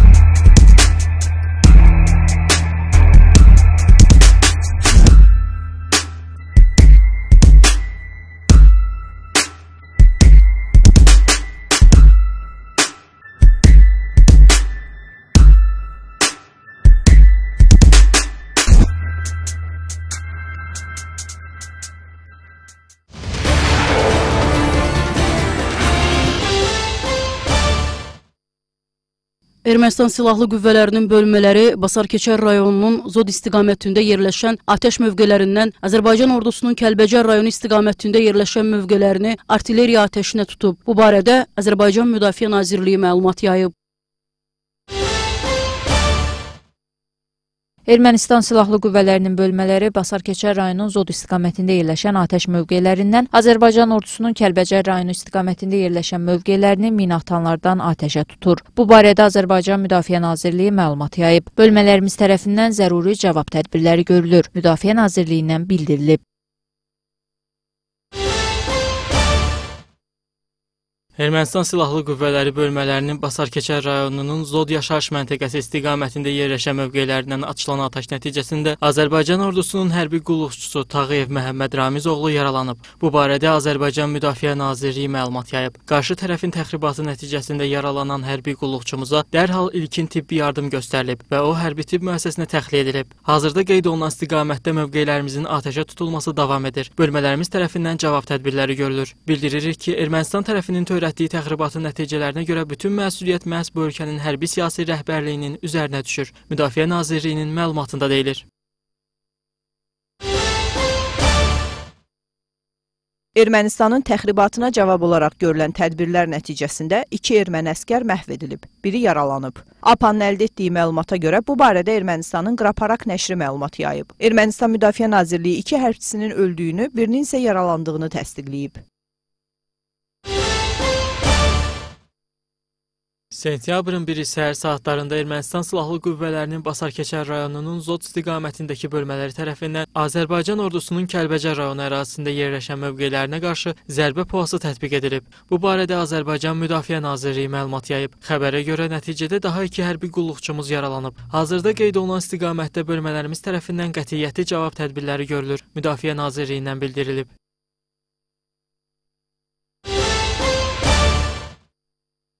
Rusiyanın Qarabağda qalmaq imkanı yoxdur. Axaraz məlumat yayıb ki, bu sözləri erməni mediasının açıqlamasında Rusiyalı tarixçi Modest Kolerov deyib. O deyib ki, sülhməramlıların detallı mandatı yoxdur. Bakı təfərrüatlı mandat verməkdən imtina etdi. Bakının mandatı uzadacağına isə əmin deyiləm. Kolerov hesab edir ki, sülhməramlılar döyüşməyəcək, çünki təfərrüatlı mandat olmadan heç bir hərəkət legitim sayılmayacaq. Ukraynada müharibə indi başa çatsa və Kiyev təslim olmağa yaxınlaşsaydı, Rusiyanın Qarabağ məsələsində mövqeləri güclənərdi. Hətta Azərbaycan da bu faktı qəbul etməli olardı. Amma bu hələ baş verməyib və gələn ildə olmayacaq. Bu vəziyyətdə Paşinyanın niyə sevindiyi bəlli deyil. Niyə Ukraynada Rusiyanı dəstəkləmir? O başa düşmür ki, Rusiya Ukraynada nə qədər çox məşğul olsa, Qarabağ və Ermənistan üçün bir o qədər pisdir. Onun fikrincə bu hadisələrdən sonra Türkiyənin nüfuzunun güclənməsi Rusiya üçün təhlükə yaratmır. İqtisadi baxımdan Türkiyə çoxdan Ermənistandadır. Necə deyərlər, qatar artıq yola düşüb. Hərbi siyasi təsirə gəlincə, Ermənistan artıq NATO-ya istiqamətlənmək istəyir. Beləliklə, Ermənistan NATO-da Türkiyənin müttəfiqi olacaq.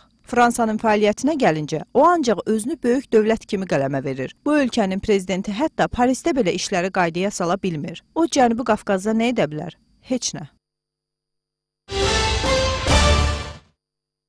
Azərbaycan çempionu Qarabağ bu gün növbəti Avrokubok oyununu keçirib. APA TV xəbər verir ki, Qurban Qurbanovun yetirmələri Avropa Liqasının play-offunda cavab maçına çıxıb.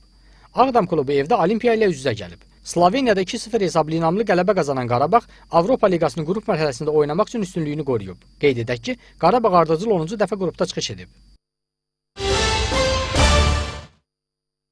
Sentyabrın 2-si gündüz şimal və qərb rayonlarından başlayaraq ayın 4-ü səhərədək bəzi yerlərdə leysan xarakterli yağış yağacağı, şimşək çaxacağı gözlənilir. APA TV xəbər verir ki, bunu Milli Hidrometeorologiya Xidmətinin Hidrologiya Mərkəzinin direktoru Asif Verdiyev deyib. Onun sözlərinə görə ayrı-ayrı yerlərdə, xüsusən də Balakən, Şəki, Oğuz, Qəbələ, Quba, Qusar, bəzi mərkəzi Aran rayonlarında, həmçinin Qazax, Gəncə, Qarabağ, Şərqi Zəngəzur ərazilərində intensiv və güclü olacağı gözlənilir. Bölgələrdə şərq küləyi əsəcək. Ayrı-ayrı yerlərdə küləyin sürəti saniyədə 20-25 metrədək güclənəcək. İntensiv leysan xarakterli yağışlar səbəbindən Balakən Şəki bölgəsinin ərazisindən axan Katex çay, Kürmük çay, Çin çay, Oğuz Qəbələ bölgəsinin ərazisindən axan Göy çay, Girdiman çay, Quba Qusar bölgəsinin ərazisindən axan Vəlvələ çay, Qara çay, Qazax Gəncə bölgəsinin ərazisindən axan Əsrik çay, Gəncə çay, Qıbırlı çay, o cümlədən Qarabağ və Şərqi Zəngəzur bölgəsinin ərazisindən axan Goran çay, Quru çay, Köndələn çay çaylarından qısa müddətli daşqın və sel keçəcəyi gözlənilir.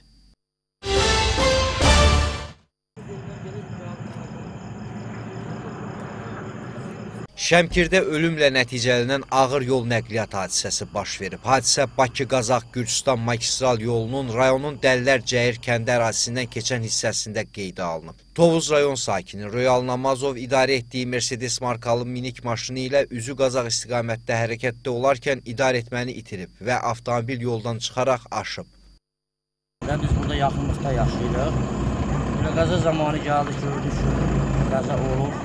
İki nəfər də rəhmətə gedib, qalanlarda polis Qəza nəticəsində ölənlər avtomobildə olan sərnişinlər 43 yaşlı Dürdanə Nəbiyeva və onun övladı 21 yaşlı Eyvaz Nəbiyevdir. Xəsarət alan 4 nəfər sürücü, 27 yaşlı Royal Namazov sərnişinlər, 32 yaşlı Bahar Məmmədova, 37 yaşlı Aygün Mustafayeva və 54 yaşlı Mahir Bayramov Şəmkir rayon mərkəzi xəstəxanasına yerləşdirilib. Yaralıların vəziyyəti orta ağır olduğu bildirilir. Hadisə yerinə Baş Dövlət Yol Polisi İdarəsinin əməkdaşları cəlb olunub. Faktla bağlı araşdırmalar aparılır.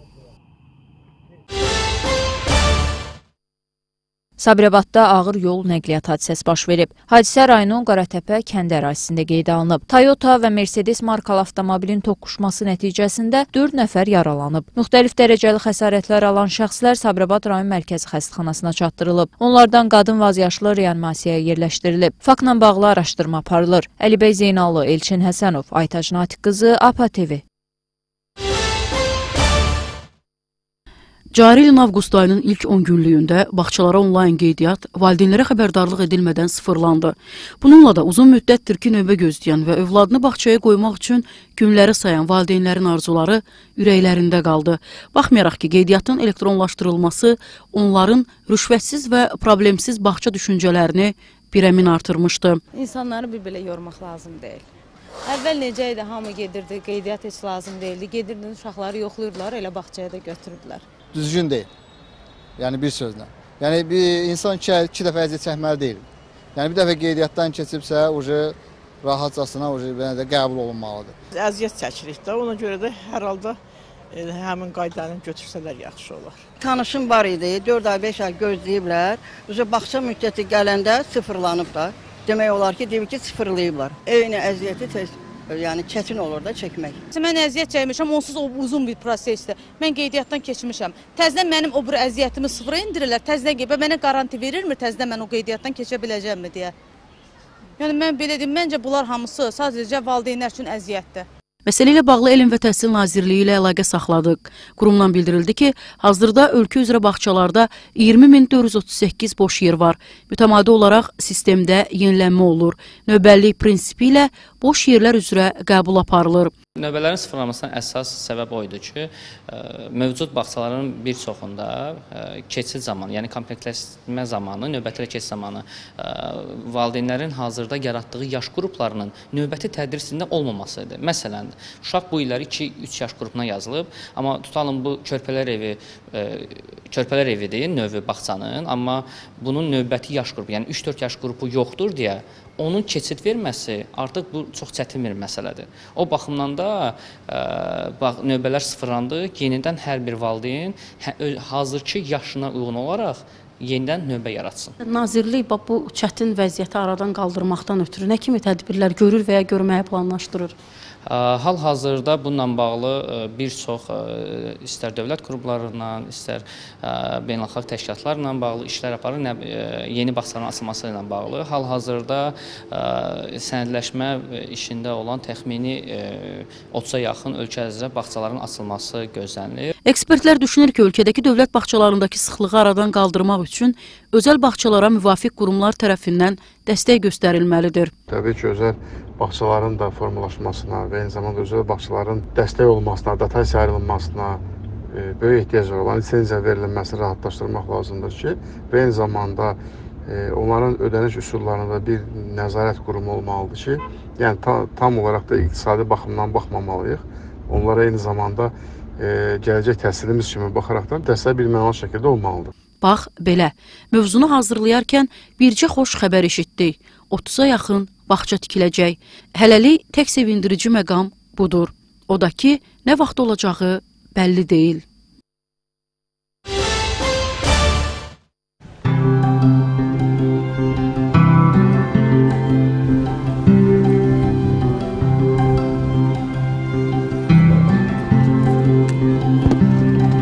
Əksəriyyətimiz dənizkənarı milli parka, bulvara gələndə gəmi ilə gəzinti eləməyi sevirik. Bir müddət əvvəl 5 manat ödəyərək tam 30 dəqiqə ərzində rahat şəkildə gəmi ilə səyahət edə bilirdik. Amma 1 ilə yaxındır ki, gördüyünüz kimi kassanın qapısı bağlıdır, gəmi isə işləmir. Öncələr gəlib gəzirdi, uşaqları da gəzdirirdi. İndi yoxdur. Nə, nə səbəbi bilmirəm. Bəlli də deyil. Açıq olsa yaxşı olardı. İstəyirəm ki, açılsın, mən də gəzə bilərəm. Sən də gəzə bilərsən. Xoşdursan gəmi ilə gəzməyi? Hə. Ə, yəqin ki, açılsaydı yaxşı olardı. Çünki uşaqlar da həvəslidirlər gəmiyə minmək üçün ki, necə olur. Yəni ümid edirik bir gün açılar. Bəs gəmi gəzintisinin dayandırılması nə ilə əlaqədardır? Dənizkənarı bulvar idarəsindən bildirildi ki, gəmi gəzintisinin dayandırılması Xəzər dənizində suyun səviyyəsinin aşağı düşməsi ilə bağlıdır. Gəmilərin fəaliyyətinin müvəqqəti dayandırılması dənizdə suyun səviyyəsinin aşağı enməsi ilə əlaqədardır. Gəmilər texniki baxışdan keçib və saz vəziyyətdədir. Sadəcə dəniz suyunun səviyyəsinin aşağı enməsi ilə əlaqədar oktyabr ayından etibarən gəmilərin fəaliyyəti müvəqqəti dayandırılıb. Görünən budur ki, dənizkənarı milli parka gəmi gəzintisi həvəsi ilə gələnlər suyun səviyyəsinin qalxmasını gözləməli olacaqlar. Fatma Zahid qızı, Kəmran Namazov, APA TV. Abad rayonu Paşatəpə qədim yaşayış məskənində aparılan arxeoloji qazıntılar zamanı Azərbaycan tarixinə aid yeni maddi mədəniyyət nümunələri aşkar edilib. Çoxsaylı tarix tapıntıları arasında insan skeletlərinin qalıqları, qədim insanların dəfn etmə adəti ilə bağlı məlumatları maraq doğurub. Eləcə də ərazidə qədim insanların məşğuliyyəti ilə bağlı neolit dövrünə aid saxsıdan, sümükdən və dəvəgözü daşından hazırlanmış çoxsaylı məişət bəzək əşyaları üzə çıxarılıb. Burada çox ə, kütləvi surətdə belə deyək ki, hədsiz sayda saxsı məmulatı aşkar alınıb. Saxsı məmulatının müxtəlif bəzəklərinə rast gəlinir. O bəzəklər özləri Paşatəpə yaşayış məskənində yaşayan insanların estetik dünya görüşünün yüksək səviyyədə olduğunu göstərir. Ondan başqa sümükdən əmək alətləri, çaxmaqdaşdan əmək alətləri və külli miqdarda dəvəgözü daşından əmək alətləri qeydə alınmışdır. Bu iki mövsumun ən qiymətli materiallarından biri də burada dəfn etmə, qəbirlərin aşkara çıxarılmasıdır. Qoşa dəfn etmə qeydə alınmışdır. Qəbirdə iki nəfər deməli dəfn edilmişdir. Biri sağ böyrü üstə, biri sol böyrü üstündə təxmini şəkildə üzbəyüz surətdə. Bu mövsümdə qazılan üçüncü sahədən keramika qırıqlarına, saxsı fraqmentlərinə, dəndaşı qırıqlarına və ən əsası sümükdən düzəldilən alətə də rast gəlinib. Aparılan araşdırma nəticəsində də məlum olmuşdur ki, Cəllabad tarixi, qədim tarixi zəngindir. Qədim dövrlərə gedib çıxır. Hətta neolit dövründə də burada yaşayış olduğunun bir daha sübutu olur.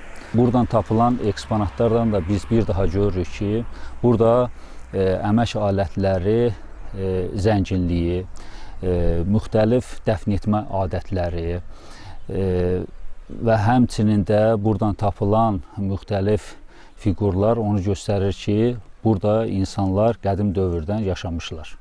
Mütəxəssislərin sözlərinə görə Paşatəpə artikatının araşdırılması Qafqaz arxeologiyasında ilkin əkinçilik mədəniyyəti və sənətkarlıqla bağlı yenilikləri üzə çıxara bilər. İlkin Rızayev, Rövşən Almazoğlu, Aytac Natiq qızı, APA TV. Azərbaycan Milli Elmlər Akademiyası Arxeologiya, Etnografiya və Antropologiya İnstitutunun arxeoloji abidələrin toplusu şöbəsinin əməkdaşları Azərbaycanın cənub bölgəsində olub, monitorinq aparıblar. Monitorinq yardımlı, Astara, Lerik, eləcə də bölgənin digər rayonlarında aparılıb. Aşkar olunan qoç daşlar və insan başı formalı məzar daşlarına baxış keçirilib. Baxış zamanı məlum olub ki, tapıntılar 15-ci, 17-ci əsrlərə Ağqoyunlu və Səfəvilər dövlətləri dövrünə təsadüf edir. Monitorinq qrupu həmçinin yeni aşkar olunmuş abidələr abidələrdən biri Astara rayonu Alaşa kəndində yerləşən orta əsrlərə aid hesab olunan Əlişah qalasına baxış keçir. Kəndin və qalanın adlandırılması Əlişah adlı hökmdarla bağlıdır. Qala strateji cəhətdən çox əlverişli mövqedə tikilib. Abidənin divarları bişmiş kərpiçlərlə hörülüb. Bu qalanın tapılması da təsadüf nəticəsində baş vermişdir.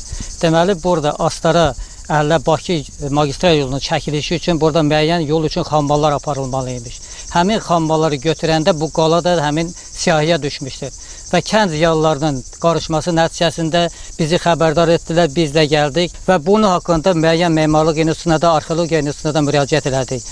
Bizim deməli müraciətimizi nəzərə alıb, arxeologiya və etnografiya İnstitutunun əməkdaşları bir yerdə burada monitoru keçirdik. Həmin qalanın deməli ümumi üst hissəsi, deməli torpaqla çökülmüş hissəsi və dağılmış hissələrdən ətraflı tanış olduq. Həmin mütəxəssislər belə qərara gəldilər ki, buranın həm strateji əhəmiyyəti var, həm də ki, buranın deməli müəyyən deməli bu qazıntı işlərinə, arxeologiya işləri ilə əlaqəli arxeoloji ə, işlərin aparılması ə, lazımdır. Və el arasında həmçinin bu qalaya Divəkə qalası da deyilir. E, qeyd edək ki, Div qalasıdır. Bura əslində belə baxış keçiləndə strateji baxımdan çox əlverişli bir yerdə tikilibdir. Hal-hazırda biz İranla sərhəddəyik gördüyünüz kimi və buradan ətrafı və şimal tərəfi də qəşəng müşahidə etmək olur. Çünki dənizə hər hansı bir e, hücum olarsa, bu gözətçi məntəqəsindən buradan aydın görsənir. Qalanın e, ətrafı e, yaxşı sal daşların üzərində tikilmiş e, divarlarla qorunur. Qalada otaqlar mövcuddur ki, otaqların bir qismi zindan xarakteri daşıyıb. Otaqlar arasında keçid olub. Müəyyən mənbələrdə qeyd olunur ki, 1990-cı illərdə Sovet ordusu hərbiçiləri müntəzəm olaraq təlimlər keçiriblər. Qala təlim vaxtı dağıntılara məruz qalıb. Monitorinq qrupunun üzvləri yaxın vaxtlarda qalada geniş bir təhqiqat işlərinə başlamağı nəzərdə tutublar. Bundan əlavə rayonda Ərkivan kəndi ərazisində olan daş qutu qəbirlər aşkar edilib. İlkin Rızaev, Rövşən Almazoğlu, Aygün Carçıyeva, APA TV Astara. Bir neçə gündür ki, Cəllabadda üzüm yığımına başlanılıb. Üzümü ilə məşğul olan Cəllabad rayonunda bu ildə sahələrdə məhsuldarlıq yüksəkdir. Lakin məhsulun satışında çətinliklər yaranıb. Yığımın ilk günündə qiymətin 1 manat olması fermerləri təmin edirdisə, hazırda qiymətin aşağı düşməsi onları çıxılmaz vəziyyətə salıb. Üzümün kiloqramın aşağı satış qiyməti bizdə 40 qəpik, yuxarı satış qiyməti isə 60 qəpik arasındadır. Bunlar da bu da demək olar ki, bizim bir ildə becərmə, ağır-texniki becərmələrə, xəstəlik və ziyanvericiliyə qarşı mübarizəyə, e, fəhləyə verilən əmək haqqı, ağrının və bir qədərə verilən əmək haqqı, bütün bunlar toplananda hektara üzümün maya dəyər gəlib 4000 manata başa gəlir. Üzümü isə 10 ton üzüm götürüb 50 qəpiyə, 60 qəpiyə satanda da bu da hardasa hektardan 5000-6000 manat pul eləyir ki, bunlar da elə ortada məhsul yığımı dövründə demək olar ki, sair xərclər sırasında ortadan gedir. Prima sortudur. Yəni bağımız hamısı süfrə sortudur. Ən tez yetişəni primadır. Yəni qəşəng sortlar var. Məsələn, Atika, Prima, Victoria, Alfons. Ən tez yetişəni, ən məsələn tez satılanı, bazara çıxanı Primadır. İnşallah onun yığımı başlamış, o ikinci gündə davam edirik. Məhsullara demək olar, elə elə üzüm var ki, bu il keçənkindən yaxşıdır. Bu elə sort var ki, keçən il bundan yaxşı idi. Ölkə bazarlarında topdan və pərakəndə satışla məşğul olanlar hazırda üzümə böyük tələbatın olduğunu deyirlər. Alıcılar bildirir ki, qiymətlər məhsul bolluğuna, eləcə də bazara və tələbata görə dəyişir. Buradan üzümü alıb aparırıq, Bakıya paylayırıq. Alış qabiliyyəti yaxşıdır, normaldır. Tələbat var üzümə. 60 qəpiyə alırıq. 80 qəpiyə, 90 qəpiyə beləncə satışıdır. Gün aşıra gəlirik, bir gün gəlirik, bir gün qalırıq, növbəti günü yenidən gəlirik. Ola bilsin üzüm çoxaldıqca üzümə tələbat artdıqca yüksələ bilər qiyməti, ola bilsin də eynədə bilər. Fermerlər real vəziyyəti dəyişmək və sahələrə qoyulan kapitalın azaldılması üçün növbəti illərdə yeni üzüm sortları becərməyə qərar verdiklərini bildirirlər. İndi biz elə qərara gəlmişik ki, üzüm sortlarının hansı əvvəl gətirmişik, Prima sortudur, Ora sortudur, e, Kardinal sortudur. Bunların becərilməsi çətin olduğu kimi üzüm yığımında da demək olar ki, qiymətləri, qiyməti çox aşağı səviyyədə 40 qəpi ilə 55 qəpi arasında üzüm satışıdır. Ona görə biz indi üzümçülər, üzümçülük təsərrüfatlarında qərara gəlmişik ki, bu il növbəti illərdə həmin sortları ləğ, ləğv eləyək.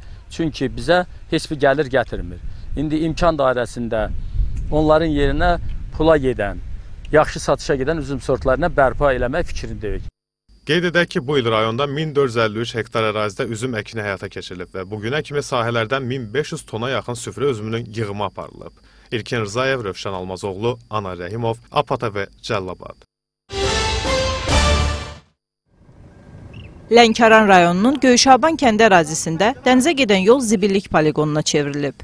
Ətrafa yayılan pis qoxu sakinləri narahat edir. Üstəlik üfunətli ərazi sahibsiz heyvanların tullantılardan qidalanmasına şərait yaradır. Təbii ki, bu da gecə saatlarında həmin ərazidən keçən sakinlər üçün təhlükə yaradır. Görürsən ki, axşam çağlar bir yanlardan maşınlar keçəndə, gözə xəbərimiz olmadan gecə də qaranlığa görsən zirzibilə atırlar. Dəfələrlə demişik onlara, müraciət eləyirik. Buna baxan yoxdur.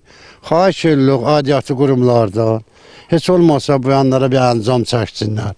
Gecələr görsən ha, vəhşi heyvanlardan olur, görsən çaqqal, ihtiyat, yüzdən iraq. Bir yanları görsən ha, basılır, uşaqlar qorxurlar. Baxan yoxdur. Görürsən maşınlar gəlir, boşaldır zibilləri. Heç baxan yox ki, nədir, nə deyir. Burada açınöy var burada. Təmizlənməmiş su buraxırlar kanaldan. Dənizin oturmaq olmur. Üç günlər buraxırlar. Axşam sən itinəli çaqqallar oluyor. Elə bilsən ki, cəngəlidə yaşayırıq. Əvvəl bura elə idi tərtəmiz. Sonradan bu hala. Baxan olmadı, düşdü bu hala. Bəzi burada simir, dənizlərdə simirdi uşaqlar. Cəllabaddan belə gəlirlər, Sabirabaddan belə gəlirdilər. Hal-hazırda vəziyyət bir yerdədir. Əraziyə cavabdeh olan Göyşaban Bələdiyyəsindən bildirildi ki, mütəmadi ora təmizlənir. Ona baxmayaraq axşam saatlarında naməlum şəxslər tərəfindən gətirib ora zibil tökürlər. Nəzarətçi də qoymuşuq, nəzarətçi də gündüz baxır, axşam baxa bilmir. Yaxın günlərdə təzədən planlaşdırmışıq, bir daha həmin yerdə təmizlik işləri aparacağıq. Bələdiyyədən aldığımız məlumata görə kənd daxilində məişət tullantılarının yığışdırılması üçün həftə ərzində ərazilərə 3 dəfə maşınlar çıxarılır. Sakinlərin qapılarda qoyduğu tullantılar toplanır və zibil poligonuna aparılır. Bircə sahilə gedən yoldakı zibil poligonunda çimərlik görkəminə qaytarılsaydı, sakinlər dəniz havası udardılar. İlkin Rızayev, Rövşən Almazoğlu, Aynur Qara, APA TV Lənkəran.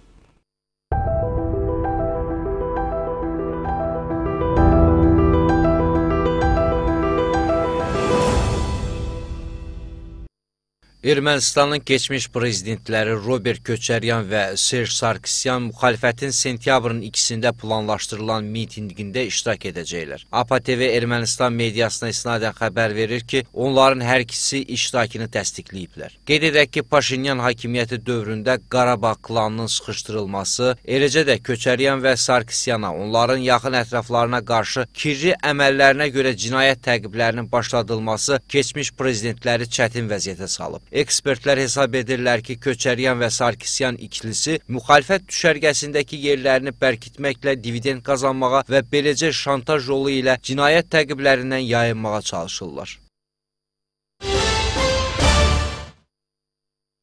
Türkiyənin Azərbaycan-Ermənistan münasibətlərinin normallaşmasında konstruktiv rol oynayacağını əminik. APA-nın Moskva müxbiri xəbər verir ki, bunu Rusiya Xarici İşlər Naziri Sergey Lavrov Türkiyəli həmkarı Hakan Fidanla danışıqlarının yekunlarına dair birgə mətbuat konfransında bildirib. Rusiya Xarici İşlər Nazirliyinin başçısı vurğulayıb ki, danışıqlar zamanı Cənubi Qafqazdakı vəziyyət müzakirə olunub. Lavrov Rusiya və Türkiyənin Cənubi Qafqazda münasibətlərin normallaşmasında maraqlı olduğunu söyləyib. O qeyd edib ki, Rusiya Türkiyə-Ermənistan münasibətlərinin normallaşmasında da maraqlıdır. Rusiya və Türkiyə Cənubi Qafqazda regional əlaqələrin, kommunikasiyaların açılması ilə bağlı Rusiya, Azərbaycan və Ermənistan liderlərinin üçtərəfli razılaşmaların həyata keçirilməsində maraqlıdır. Əminik ki, Türkiyə bu razılaşmaların həyata keçirilməsində konstruktiv rol oynayacaq.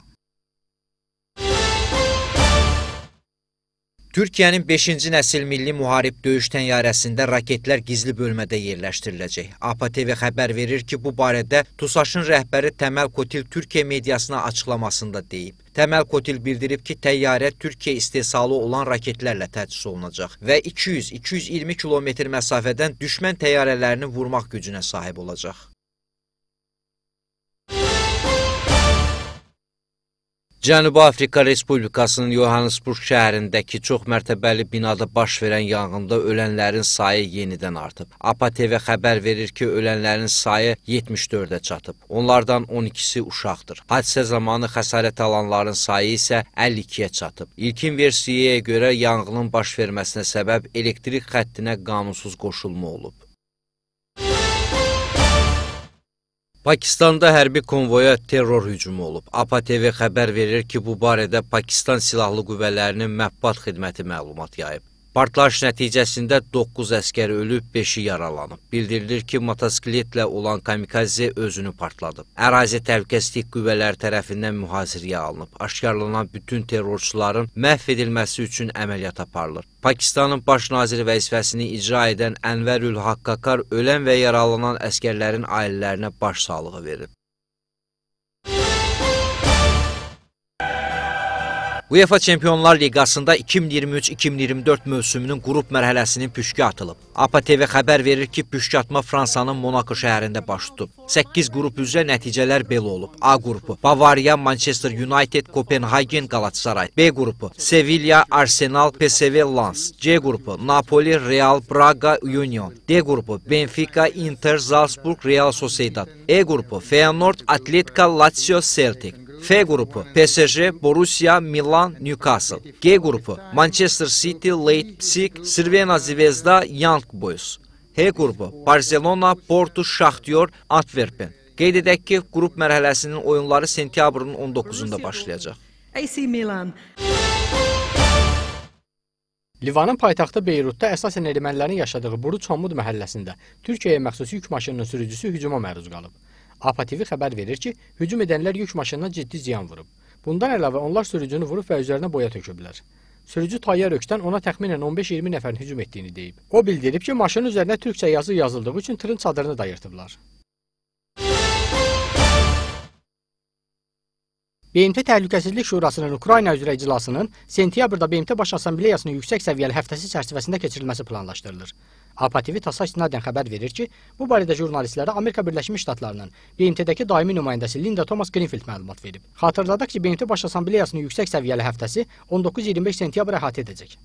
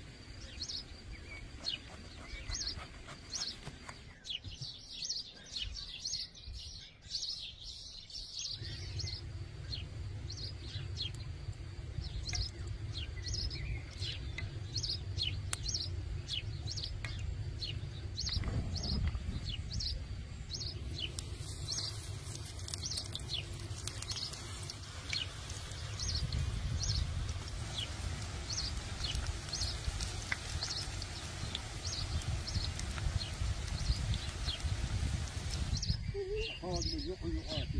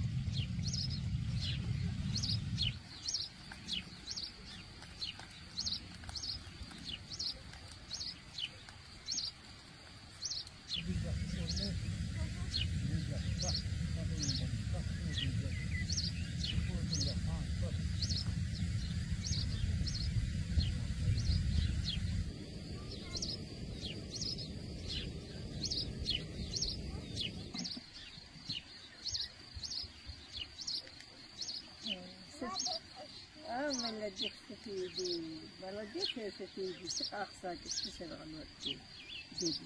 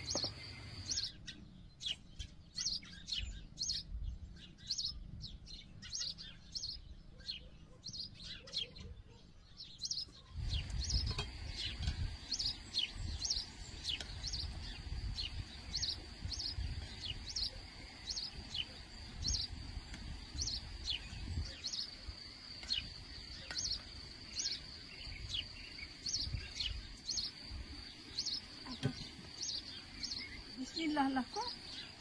Ha. Amala bis ni ni ni.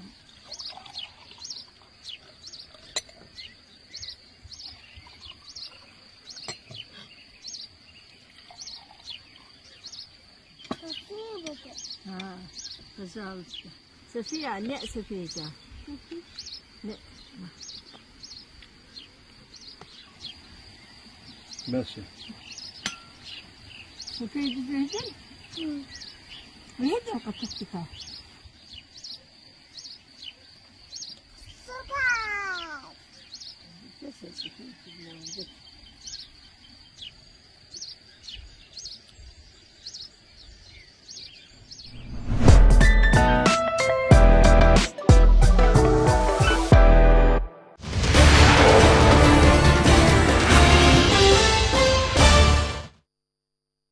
Ermənistan Silahlı Qüvvələrinin bölmələri Basarkeçər rayonunun Zod istiqamətində yerləşən atəş mövqələrindən Azərbaycan ordusunun Kəlbəcər rayonu istiqamətində yerləşən mövqələrini artilleriya atəşinə tutub. Bu barədə Azərbaycan Müdafiə Nazirliyi məlumat yayıb. Sentyabrın 1-i səhər saatlarından başlayaraq Ermənistan Silahlı Qüvvələrinin Basarkeçər rayonunun Zod yaşayış məntəqəsi istiqamətində yerləşən bölmələri Azərbaycan ordusunun Kəlbəcər istiqamətində yerləşən mövqelərini müxtəlif çaplaxdıcı silahlar, minatanlar, artilleriya qurğuları və zərbə pualarından atəşə tutmaqla bölgədə vəziyyəti gərginləşdirir. Bu barədə Azərbaycan Müdafiə Nazirliyi məlumat yayıb. Məlumatda deyilir. Bundan başqa Ermənistan tərəfi Basarkeçər rayonunun Zod yaşayış məntəqəsi istiqamətindəki mövqelərinə əlavə döyüş texnikası texnikası və canlı qüvvə cəmləşdirir. Ermənistan tərəfi növbəti təxribatlar üçün zəmin yaratmaq məqsədi ilə dezinformasiya xarakterli məlumatlar yayır və beynəlxalq ictimaiyyətdə yanlış fikir formalaşdırmağa çalışır. Bildiririk ki, yaranmış gərginliyə və onun fəsadlarına görə bütün məsuliyyət Ermənistanın hərbi siyasi rəhbərliyinin üzərinə düşür. Ermənistan Silahlı Qüvvələri bölmələrinin Basarkeçər rayonunun Zod yaşayış məntəqəsi istiqamətində yerləşən mövqelərindən açılan atəş nəticəsində Azərbaycan ordusunun hərbi qulluqçusu Tağıyev Məhəmməd Ramiz oğlu yaralanıb. Bu barədə Azərbaycan Müdafiə Nazirliyi məlumat yayıb. Qarşı tərəfin təxribatı nəticəsində yaralanan hərbi qulluqçumuza dərhal ilkin tibbi yardım göstərilib və o hərbi tibb müəssisəsinə təxliyə edilib. Hazırda qeyd olunan istiqamətdə mövqelərimizin atəşə tutulması davam edir. Bölmələrimiz tərəfindən cavab tədbirləri görülür. Bildiririk ki, Ermənistan tərəfinin törətdiyi törətdiyi təxribatın nəticələrinə görə bütün məsuliyyət məhz bu ölkənin hərbi siyasi rəhbərliyinin üzərinə düşür. Müdafiə Nazirliyinin məlumatında deyilir. Ermənistanın təxribatına cavab olaraq görülən tədbirlər nəticəsində iki erməni əskər məhv edilib, biri yaralanıb. APAN-ın əldə etdiyi məlumata görə bu barədə Ermənistanın Qraparak nəşri məlumat yayıb. Ermənistan Müdafiə Nazirliyi iki hərbçisinin öldüyünü, birinin isə yaralandığını təsdiqləyib. Sentyabrın 1-i səhər saatlarında Ermənistan Silahlı Qüvvələrinin Basarkeçər rayonunun Zod istiqamətindəki bölmələri tərəfindən Azərbaycan ordusunun Kəlbəcər rayonu ərazisində yerləşən mövqelərinə qarşı zərbə puası tətbiq edilib. Bu barədə Azərbaycan Müdafiə Nazirliyi məlumat yayıb. Xəbərə görə nəticədə daha iki hərbi qulluqçumuz yaralanıb. Hazırda qeyd olunan istiqamətdə bölmələrimiz tərəfindən qətiyyətli cavab tədbirləri görülür. Müdafiə Nazirliyindən bildirilib.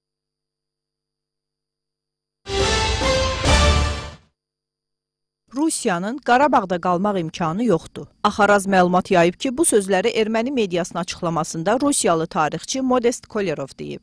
O deyib ki, sülhməramlıların detallı mandatı yoxdur. Bakı təfərrüatlı mandat verməkdən imtina etdi. Bakının mandatı uzadacağına isə əmin deyiləm. Kolerov hesab edir ki, sülhməramlılar döyüşməyəcək, çünki təfərrüatlı mandat olmadan heç bir hərəkət legitim sayılmayacaq. Ukraynada müharibə indi başa çatsa və Kiyev təslim olmağa yaxınlaşsaydı, Rusiyanın Qarabağ məsələsində mövqeləri güclənərdi. Hətta Azərbaycan da bu faktı qəbul etməli olardı.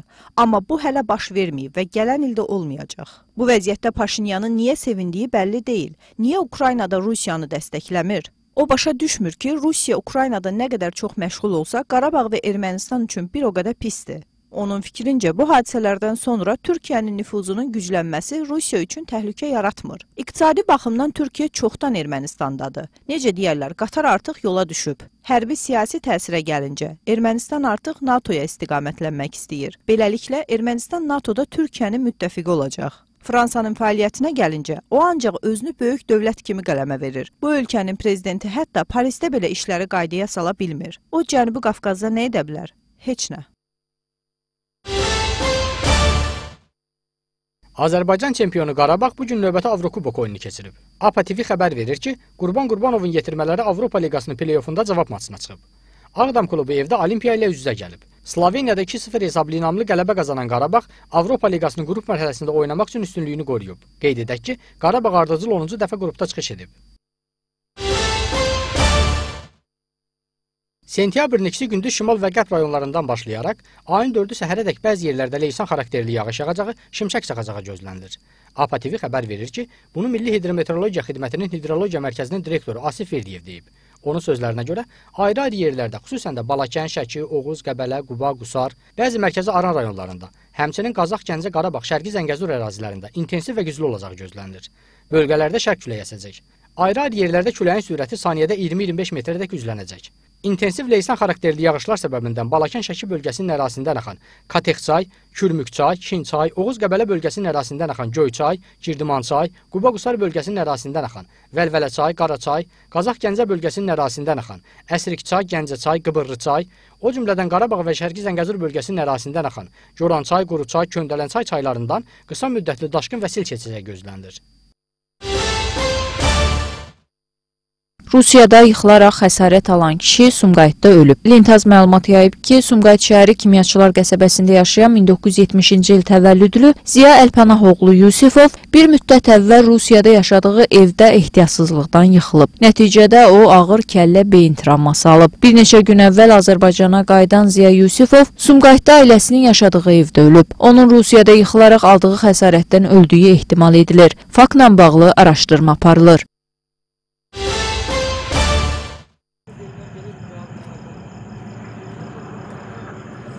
Şəmkirdə ölümlə nəticələnən ağır yol nəqliyyat hadisəsi baş verib. Hadisə Bakı-Qazax-Gürcüstan magistral yolunun rayonun Dəllər Cəyir kəndi ərazisindən keçən hissəsində qeydə alınıb. Tovuz rayon sakini Royal Namazov idarə etdiyi Mercedes markalı minik maşını ilə üzü Qazaq istiqamətdə hərəkətdə olarkən idarə etməni itirib və avtomobil yoldan çıxaraq aşıb.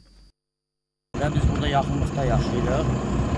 Qəza zamanı gəldi, gördük ki, qəza olub. İki nəfər rəhmətə gedib, qalanları da polis Qəza nəticəsində ölənlər avtomobildə olan sərnişinlər 43 yaşlı Dürdanə Nəbiyeva və onun övladı 21 yaşlı Eyvaz Nəbiyevdir. Xəsarət alan 4 nəfər sürücü, 27 yaşlı Royal Namazov sərnişinlər, 32 yaşlı Bahar Məmmədova, 37 yaşlı Aygün Mustafayeva və 54 yaşlı Mahir Bayramov Şəmkir rayon mərkəzi xəstəxanasına yerləşdirilib. Yaralıların vəziyyəti orta ağır olduğu bildirilir. Hadisə yerinə Baş Dövlət Yol Polisi İdarəsinin əməkdaşları cəlb olunub. Faktla bağlı araşdırmalar aparılır. Cari ilin avqust ayının ilk 10 günlüyündə bağçalara onlayn qeydiyyat valideynlərə xəbərdarlıq edilmədən sıfırlandı. Bununla da uzun müddətdir ki, növbə gözləyən və övladını bağçaya qoymaq üçün günləri sayan valideynlərin arzuları ürəklərində qaldı. Baxmayaraq ki, qeydiyyatın elektronlaşdırılması onların rüşvətsiz və problemsiz bağça düşüncələrini birəmin artırmışdı. İnsanları bir-belə yormaq lazım deyil. Əvvəl necə idi, hamı gedirdi, qeydiyyat heç lazım deyildi. Gedirdin, uşaqları yoxlayırdılar, elə bağçaya da götürürdülər düzgün deyil. Yəni bir sözlə. Yəni bir insan iki, iki dəfə əziyyət çəkməli deyil. Yəni bir dəfə qeydiyyatdan keçibsə, ucu rahatcasına ucu belə də qəbul olunmalıdır. Əziyyət çəkirik də, ona görə də hər halda e, həmin qaydanı götürsələr yaxşı olar. Tanışım var idi, 4 ay, 5 ay gözləyiblər. Uca bağça müddəti gələndə sıfırlanıb da. Demək olar ki, deyib ki, sıfırlayıblar. Eyni əziyyəti tez yəni çətin olur da çəkmək. Mən əziyyət çəkmişəm, onsuz o uzun bir prosesdir. Mən qeydiyyatdan keçmişəm. Təzə mənə qaranti verirmi təzədən mən o qeydiyyatdan keçə biləcəmmi deyə. Yəni mən belə deyim, məncə bunlar hamısı sadəcə valideynlər üçün əziyyətdir. Məsələ ilə bağlı Elm və Təhsil Nazirliyi ilə əlaqə saxladıq. Qurumdan bildirildi ki, hazırda ölkə üzrə bağçalarda 20438 boş yer var. Mütəmadi olaraq sistemdə yenilənmə olur. Növbəllik prinsipi ilə boş yerlər üzrə qəbul aparılır. Növbələrin sıfırlanmasına əsas səbəb o idi ki, ə, mövcud bağçaların bir çoxunda ə, keçid zamanı, yəni komplektləşmə zamanı, növbəti keçid zamanı ə, valideynlərin hazırda yaratdığı yaş qruplarının növbəti tədrisində olmaması idi. Məsələn, uşaq bu illəri 2-3 yaş qrupuna yazılıb, amma tutalım bu körpələr evi körpələr evidir növü bağçanın, amma bunun növbəti yaş qrupu, yəni 3-4 yaş qrupu yoxdur deyə onun keçid verməsi artıq bu çox çətin bir məsələdir. O baxımdan da ə, bax növbələr sıfırlandı. Yenidən hər bir valideyn hə, hazırki yaşına uyğun olaraq yenidən növbə yaratsın. Nazirlik bax bu çətin vəziyyəti aradan qaldırmaqdan ötürü nə kimi tədbirlər görür və ya görməyi planlaşdırır?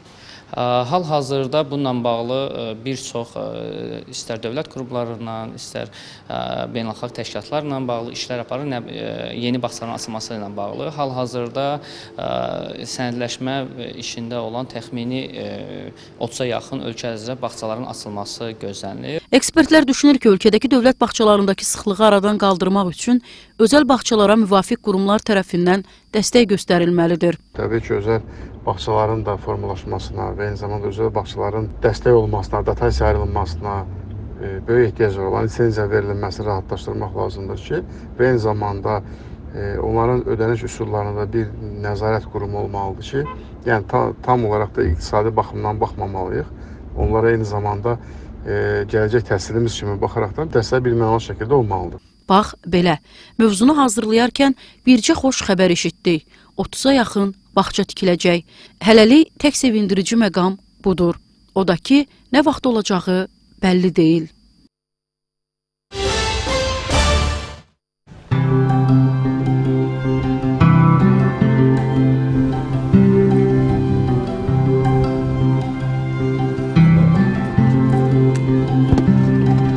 Əksəriyyətimiz dənizkənarı milli parka, bulvara gələndə gəmi ilə gəzinti eləməyi sevirik. Bir müddət əvvəl 5 manat ödəyərək tam 30 dəqiqə ərzində rahat şəkildə gəmi ilə səyahət edə bilirdik. Amma 1 ilə yaxındır ki, gördüyünüz kimi kassanın qapısı bağlıdır, gəmi isə işləmir.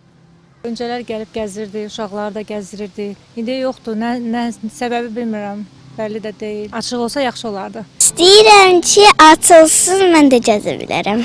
Sən də gəzə bilərsən. Xoşdursan gəmi ilə gəzməyi? Hə. Ə, yəqin ki, açılsaydı yaxşı olardı, çünki uşaqlar da həvəslidirlər gəmiyə minmək üçün ki, necə olur. Yəni ümid edirik bir gün açılar. Bəs gəmi gəzintisinin dayandırılması nə ilə əlaqədardır? Dənizkənarı bulvar idarəsindən bildirildi ki, gəmi gəzintisinin dayandırılması Xəzər dənizində suyun səviyyəsinin aşağı düşməsi ilə bağlıdır. Gəmilərin fəaliyyətinin müvəqqəti dayandırılması dənizdə suyun səviyyəsinin aşağı enməsi ilə əlaqədardır. Gəmilər texniki baxışdan keçib və saz vəziyyətdədir. Sadəcə dəniz suyunun səviyyəsinin aşağı enməsi ilə əlaqədar oktyabr ayından etibarən gəmilərin fəaliyyəti müvəqqəti dayandırılıb. Görünən budur ki, dənizkənarı milli parka gəmi gəzintisi həvəsi ilə gələnlər suyun səviyyəsinin qalxmasını gözləməli olacaqlar. Fatma Zahid qızı, Kəmran Namazov, APA TV.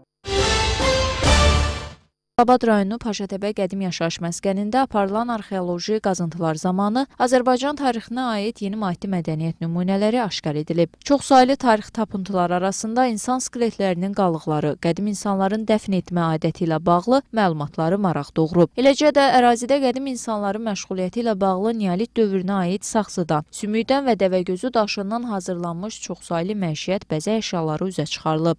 Burada çox kütləvi surətdə belə deyək ki, hədsiz sayda saxsı məmulatı aşkar alınıb. Saxsı məmulatının müxtəlif bəzəklərinə rast gəlinir. O bəzəklər özləri Paşatəpə yaşayış məskənində yaşayan insanların estetik dünya görüşünün yüksək səviyyədə olduğunu göstərir. Ondan başqa sümükdən əmək alətləri, çaxmaqdaşdan əmək alətləri və külli miqdarda dəvədgözü daşından əmək alətləri qeydə alınmışdır. Bu iki mövsumun ən qiymətli materiallarından biri də burada dəfn etmə, qəbirlərin aşkara çıxarılmasıdır. Qoşa dəfn etmə qeydə alınmışdır. Qəbirdə iki nəfər deməli dəfn edilmişdir. Biri sağ böyrü üstə, biri sol böyrü üstündə təxmini şəkildə üzbəyüz surətdə.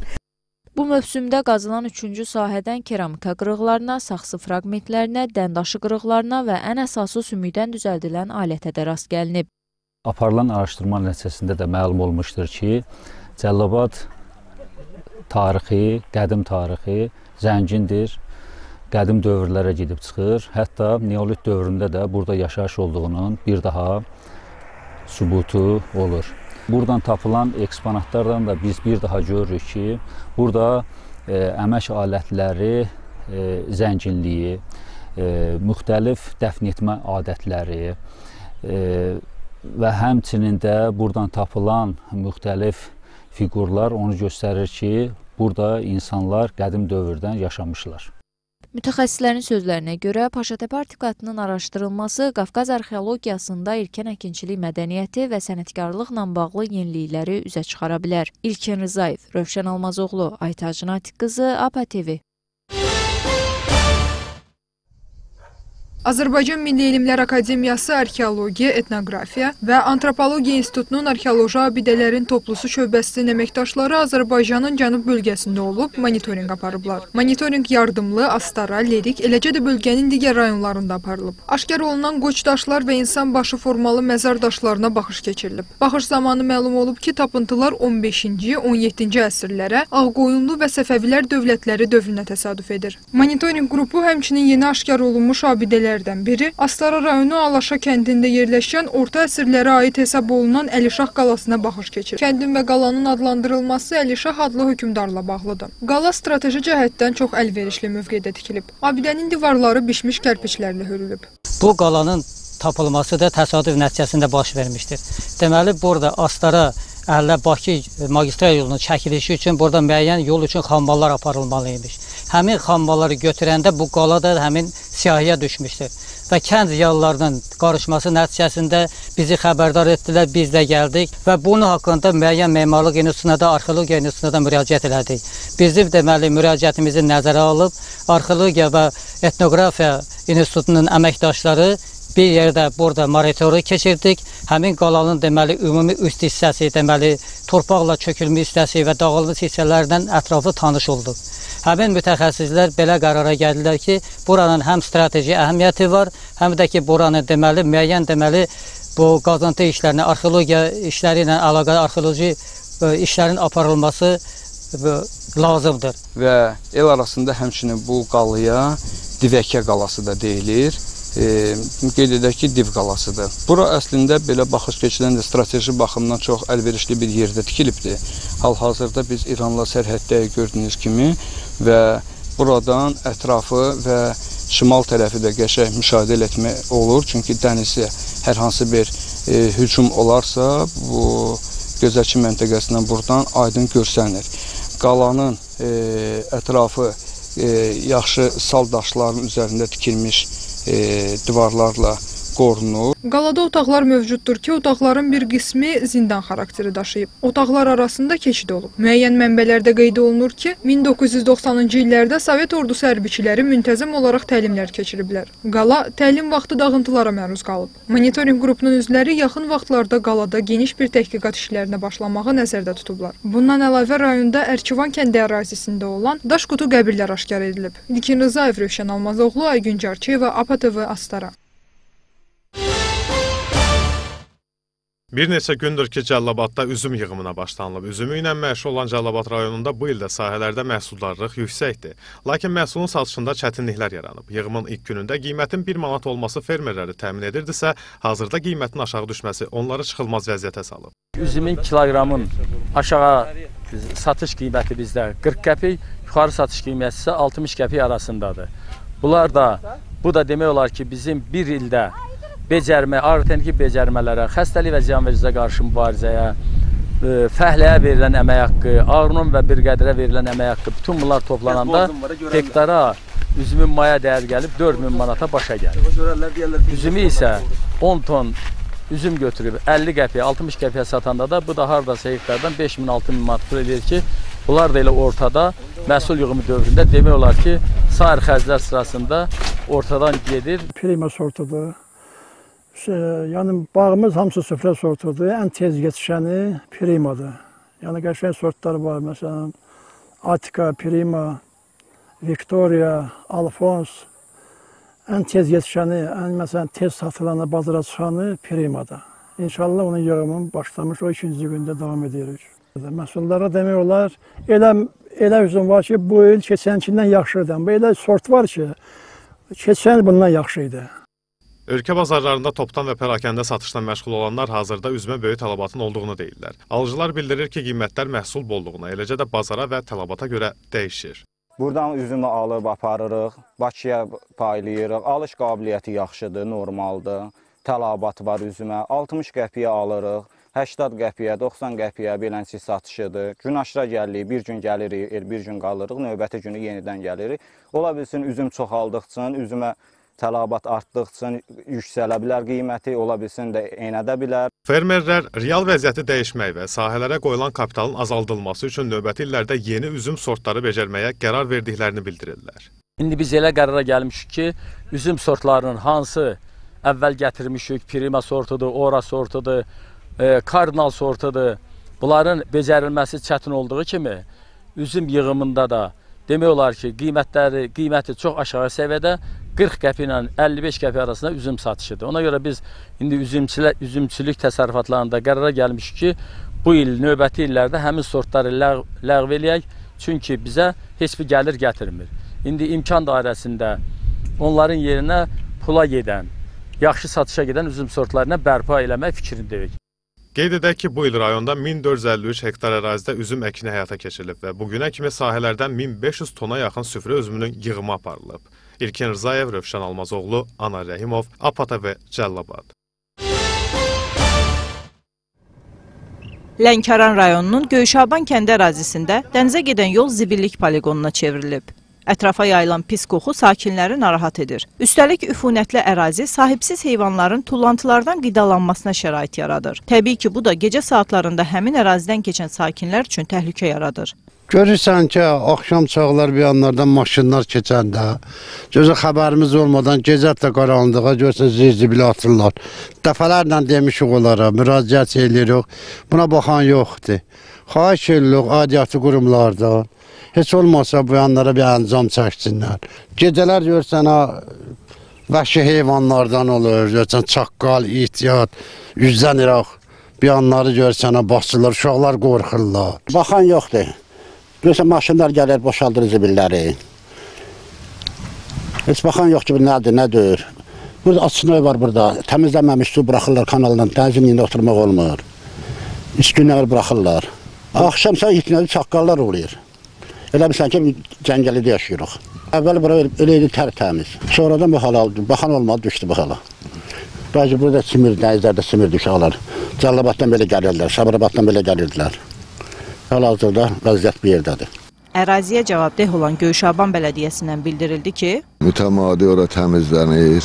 Ona baxmayaraq axşam saatlarında naməlum şəxslər tərəfindən gətirib ora zibil tökürlər. Nəzarətçi də qoymuşuq, nəzarətçi də gündüz baxır, axşam baxa bilmir.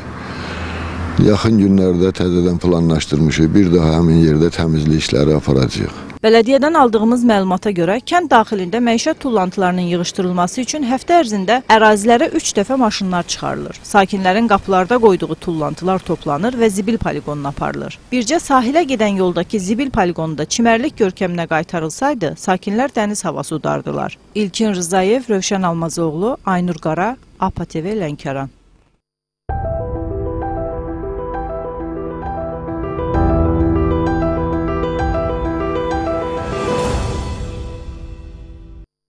Ermənistanın keçmiş prezidentləri Robert Köçəryan və Serj Sarkisyan müxalifətin sentyabrın ikisində planlaşdırılan mitinqində iştirak edəcəklər. APA TV Ermənistan mediasına isnadən xəbər verir ki, onların hər ikisi iştirakını təsdiqləyiblər. Qeyd edək ki, Paşinyan hakimiyyəti dövründə Qarabağ klanının sıxışdırılması, eləcə də Köçəryan və Sarkisyana, onların yaxın ətraflarına qarşı kirri əməllərinə görə cinayət təqiblərinin başladılması keçmiş prezidentləri çətin vəziyyətə salıb. Ekspertlər hesab edirlər ki, Köçəryan və Sarkisyan ikilisi müxalifət düşərgəsindəki yerlərini bərkitməklə dividend qazanmağa və beləcə şantaj yolu ilə cinayət təqiblərindən yayınmağa çalışırlar. Türkiyənin Azərbaycan-Ermənistan münasibətlərinin normallaşmasında konstruktiv rol oynayacağını əminik. APA-nın Moskva müxbiri xəbər verir ki, bunu Rusiya Xarici İşlər Naziri Sergey Lavrov Türkiyəli həmkarı Hakan Fidanla danışıqlarının yekunlarına dair birgə mətbuat konfransında bildirib. Rusiya Xarici İşlər Nazirliyinin başçısı vurğulayıb ki, danışıqlar zamanı Cənubi Qafqazdakı vəziyyət müzakirə olunub. Lavrov Rusiya və Türkiyənin Cənubi Qafqazda münasibətlərin normallaşmasında maraqlı olduğunu söyləyib. O qeyd edib ki, Rusiya Türkiyə-Ermənistan münasibətlərinin normallaşmasında da maraqlıdır. Rusiya və Türkiyə Cənubi Qafqazda regional əlaqələrin, kommunikasiyaların açılması ilə bağlı Rusiya, Azərbaycan və Ermənistan liderlərinin üçtərəfli razılaşmaların həyata keçirilməsində maraqlıdır. Əminik ki, Türkiyə bu razılaşmaların həyata keçirilməsində konstruktiv rol oynayacaq. Türkiyənin 5-ci nəsil milli müharib döyüş təyyarəsində raketlər gizli bölmədə yerləşdiriləcək. APA TV xəbər verir ki, bu barədə TUSAŞın rəhbəri Təməl Kotil Türkiyə mediasına açıqlamasında deyib. Təməl Kotil bildirib ki, təyyarə Türkiyə istehsalı olan raketlərlə təchiz olunacaq və 200-220 kilometr məsafədən düşmən təyyarələrini vurmaq gücünə sahib olacaq. Cənubi Afrika Respublikasının Johannesburg şəhərindəki çoxmərtəbəli binada baş verən yanğında ölənlərin sayı yenidən artıb. APA TV xəbər verir ki, ölənlərin sayı 74-ə çatıb. Onlardan 12-si uşaqdır. Hadisə zamanı xəsarət alanların sayı isə 52-yə çatıb. İlkin versiyaya görə yanğının baş verməsinə səbəb elektrik xəttinə qanunsuz qoşulma olub.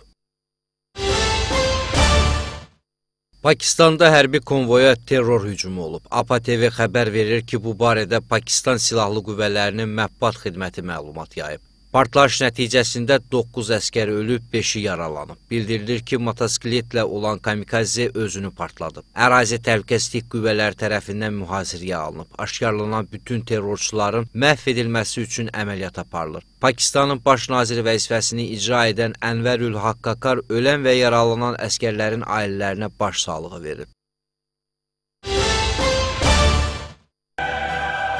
UEFA Çempionlar Liqasında 2023-2024 mövsümünün qrup mərhələsinin püşkü atılıb. APA TV xəbər verir ki, püşkü atma Fransanın Monaco şəhərində baş tutub. 8 qrup üzrə nəticələr belə olub. A qrupu: Bavariya, Manchester United, Kopenhagen, Galatasaray. B qrupu: Sevilla, Arsenal, PSV Lens. C qrupu: Napoli, Real, Braga, Union. D qrupu: Benfica, Inter, Salzburg, Real Sociedad. E qrupu: Feyenoord, Atletica, Lazio, Celtic. F qrupu: PSG, Borussia, Milan, Newcastle. G qrupu: Manchester City, Leipzig, Crvena Zvezda, Young Boys.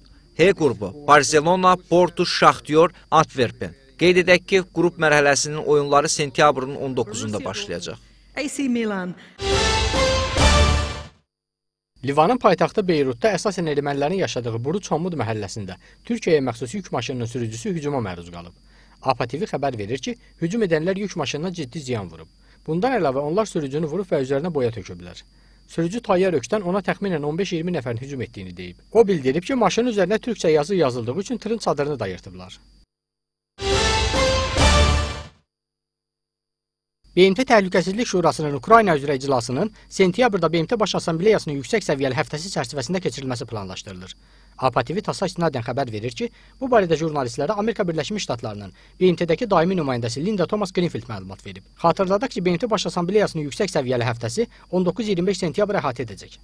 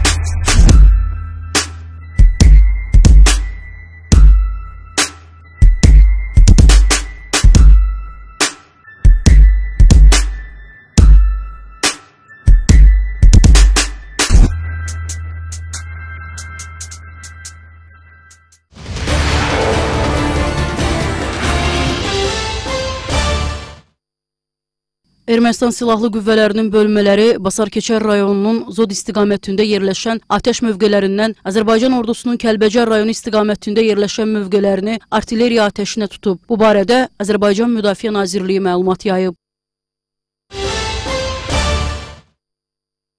Sentyabrın 1-i səhər saatlarından başlayaraq Ermənistan Silahlı Qüvvələrinin Basarkeçər rayonunun Zod yaşayış məntəqəsi istiqamətində yerləşən bölmələri Azərbaycan ordusunun Kəlbəcər istiqamətində yerləşən mövqelərini müxtəlif çaplaxdıcı silahlar, minatanlar, artilleriya qurğuları və zərbə pualarından atəşə tutmaqla bölgədə vəziyyəti gərginləşdirir. Bu barədə Azərbaycan Müdafiə Nazirliyi məlumat yayıb. Məlumatda deyilir. Bundan başqa Ermənistan tərəfi Basarkeçər rayonunun Zod yaşayış məntəqəsi istiqamətindəki mövqelərinə əlavə döyüş texnikası texnikası və canlı qüvvə cəmləşdirir. Ermənistan tərəfi növbəti təxribatlar üçün zəmin yaratmaq məqsədi ilə dezinformasiya xarakterli məlumatlar yayır və beynəlxalq ictimaiyyətdə yanlış fikir formalaşdırmağa çalışır. Bildiririk ki, yaranmış gərginliyə və onun fəsadlarına görə bütün məsuliyyət Ermənistanın hərbi siyasi rəhbərliyinin üzərinə düşür.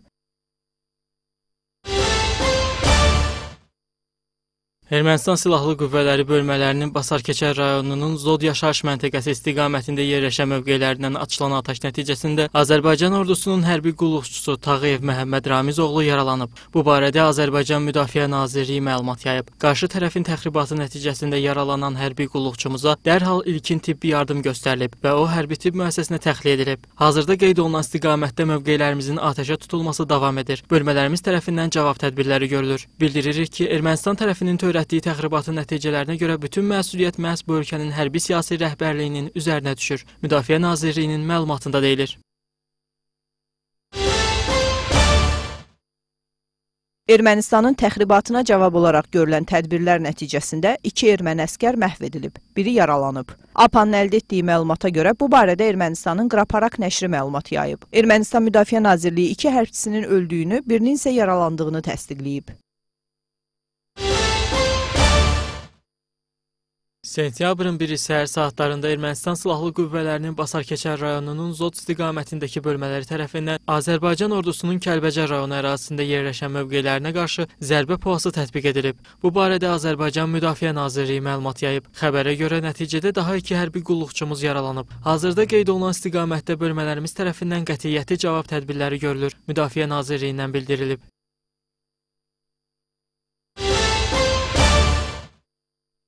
Rusiyanın Qarabağda qalmaq imkanı yoxdur. Axaraz məlumat yayıb ki, bu sözləri erməni mediasının açıqlamasında Rusiyalı tarixçi Modest Kolerov deyib. O deyib ki, sülhməramlıların detallı mandatı yoxdur. Bakı təfərrüatlı mandat verməkdən imtina etdi. Bakının mandatı uzadacağına isə əmin deyiləm. Kolerov hesab edir ki, sülhməramlılar döyüşməyəcək, çünki təfərrüatlı mandat olmadan heç bir hərəkət legitim sayılmayacaq. Ukraynada müharibə indi başa çatsa və Kiyev təslim olmağa yaxınlaşsaydı, Rusiyanın Qarabağ məsələsində mövqeləri güclənərdi. Hətta Azərbaycan da bu faktı qəbul etməli olardı.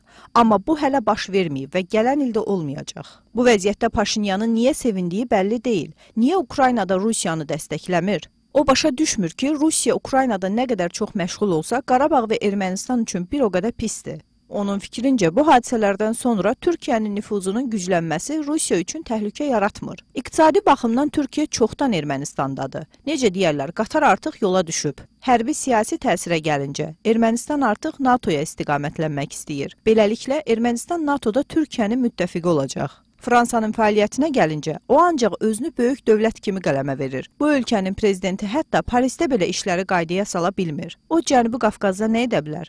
Heç nə. Azərbaycan çempionu Qarabağ bu gün növbəti Avrokubok oyununu keçirib. APA TV xəbər verir ki, Qurban Qurbanovun yetirmələri Avropa Liqasının play-offunda cavab maçına çıxıb. Ağdam Sloveniyada 2-0 hesablı inamlı qələbə qazanan Qarabağ Avropa Liqasının qrup mərhələsində oynamaq üçün üstünlüyünü qoruyub. Qeyd edək ki, Qarabağ ardıcıl 10-cu dəfə qrupda çıxış edib. Sentyabrın 2-si gündüz şimal və qərb rayonlarından başlayaraq, ayın 4-ü səhərədək bəzi yerlərdə leysan xarakterli yağış yağacağı, şimşək çaxacağı gözlənilir. APA TV xəbər verir ki, bunu Milli Hidrometeorologiya Xidmətinin Hidrologiya Mərkəzinin direktoru Asif Verdiyev deyib. Onun sözlərinə görə, ayrı-ayrı yerlərdə, xüsusən də Balakən, Şəki, Oğuz, Qəbələ, Quba, Qusar, bəzi mərkəzi Aran rayonlarında, həmçinin Qazax, Gəncə, Qarabağ, Şərqi Zəngəzur ərazilərində intensiv və güclü olacağı gözlənilir. Bölgələrdə şərq küləyi əsəcək. Ayrı-ayrı yerlərdə küləyin sürəti saniyədə 20-25 metrədək güclənəcək. İntensiv leysan xarakterli yağışlar səbəbindən Balakən-Şəki bölgəsinin ərazisindən axan Katexçay, Kürmükçay, Şinçay, Oğuz-Qəbələ bölgəsinin ərazisindən axan Göyçay, Girdimançay, Quba-Qusar bölgəsinin ərazisindən axan Vəlvələçay, Qaraçay, Qazax-Gəncə bölgəsinin ərazisindən axan Əsrikçay, Gəncəçay, Qıbırlıçay, o cümlədən Qarabağ və Şərqi Zəngəzur bölgəsinin ərazisindən axan Gorançay, Quruçay, Köndələnçay çaylarından qısa müddətli daşqın və sil keçəcəyi gözlənilir. Rusiyada yıxılaraq xəsarət alan kişi Sumqayıtda ölüb. Lentaz məlumat yayıb ki, Sumqayıt şəhəri Kimyaçılar qəsəbəsində yaşayan 1970-ci il təvəllüdlü Ziya Əlpənahoğlu Yusifov bir müddət əvvəl Rusiyada yaşadığı evdə ehtiyatsızlıqdan yıxılıb. Nəticədə o ağır kəllə beyin travması alıb. Bir neçə gün əvvəl Azərbaycana qayıdan Ziya Yusifov Sumqayıtda ailəsinin yaşadığı evdə ölüb. Onun Rusiyada yıxılaraq aldığı xəsarətdən öldüyü ehtimal edilir. Faktla bağlı araşdırma aparılır.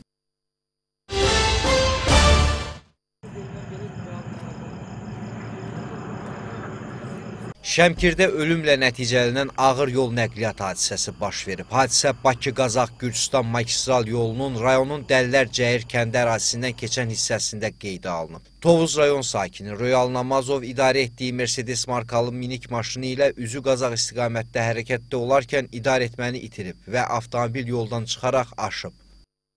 Və biz burada yaxınlıqda yaşayırıq. Qəza zamanı gəldi, gördük ki, qəza olub. Nəfər rəhmətə gedib, qalanlarda polisə. Qəza nəticəsində ölənlər avtomobildə olan sərnişinlər 43 yaşlı Dürdanə Nəbiyeva və onun övladı 21 yaşlı Eyvaz Nəbiyevdir. Xəsarət alan 4 nəfər sürücü, 27 yaşlı Royal Namazov sərnişinlər, 32 yaşlı Bahar Məmmədova, 37 yaşlı Aygün Mustafayeva və 54 yaşlı Mahir Bayramov Şəmkir rayon mərkəzi xəstəxanasına yerləşdirilib. Yaralıların vəziyyəti orta ağır olduğu bildirilir. Hadisə yerinə Baş Dövlət Yol Polisi İdarəsinin əməkdaşları cəlb olunub. Faktla bağlı araşdırmalar aparılır.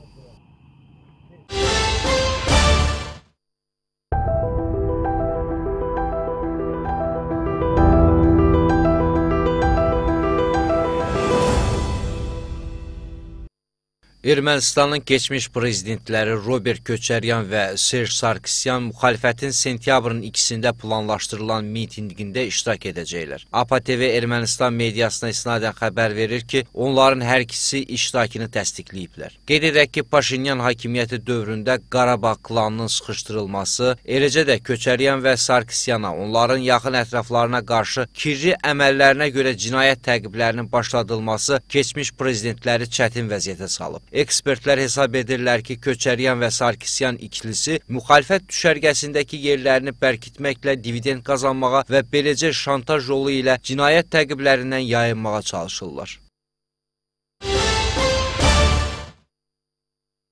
Türkiyənin Azərbaycan-Ermənistan münasibətlərinin normallaşmasında konstruktiv rol oynayacağını əminik. APA-nın Moskva müxbiri xəbər verir ki, bunu Rusiya Xarici İşlər Naziri Sergey Lavrov Türkiyəli həmkarı Hakan Fidanla danışıqlarının yekunlarına dair birgə mətbuat konfransında bildirib. Rusiya Xarici İşlər Nazirliyinin başçısı vurğulayıb ki, danışıqlar zamanı Cənubi Qafqazdakı vəziyyət müzakirə olunub. Lavrov Rusiya və Türkiyənin Cənubi Qafqazda münasibətlərin normallaşmasında maraqlı olduğunu söyləyib. O qeyd edib ki, Rusiya Türkiyə-Ermənistan münasibətlərinin normallaşmasında da maraqlıdır. Rusiya və Türkiyə Cənubi Qafqazda regional əlaqələrin, kommunikasiyaların açılması ilə bağlı Rusiya, Azərbaycan və Ermənistan liderlərinin üçtərəfli razılaşmaların həyata keçirilməsində maraqlıdır. Əminik ki, Türkiyə bu razılaşmaların həyata keçirilməsində konstruktiv rol oynayacaq.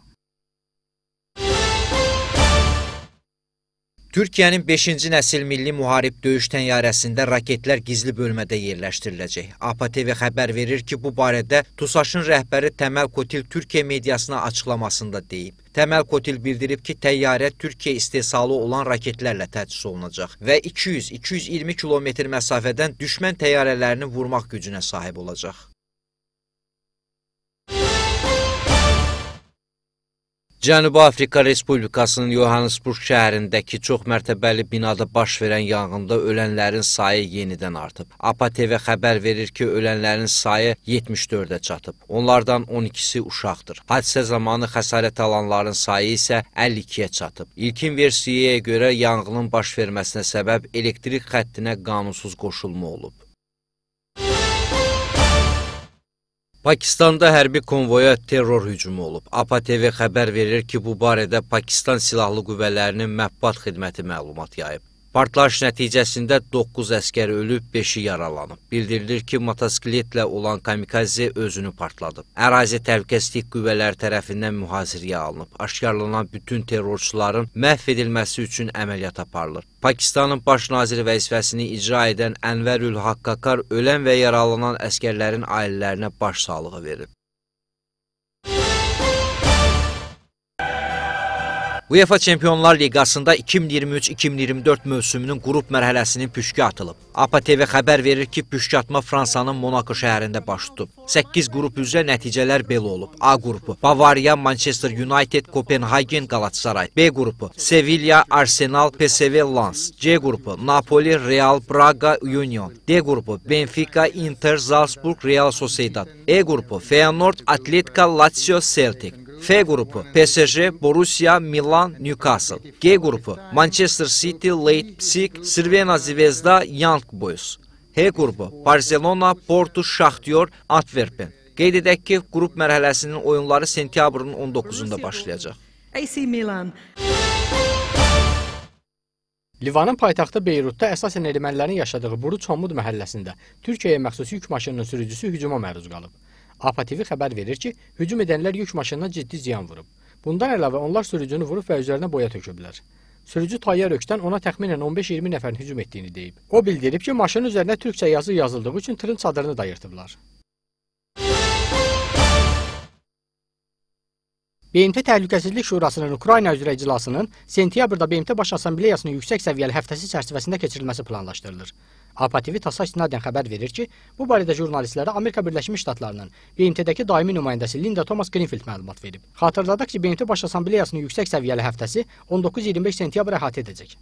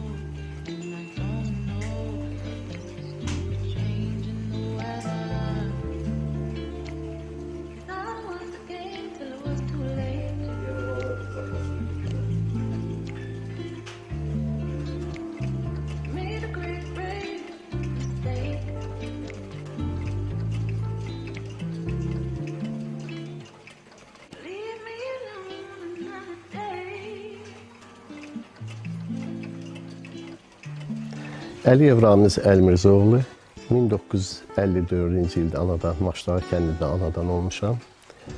E, orta məktəbi elə burada Maçdağda bitirmişəm. Təhsilim alidir. Sverdlovsk İnjiner Pedaqogik İnstitutu qurtarmışam. Demə müəllim işləmişəm. Hal-hazırda təqaüddəyəm.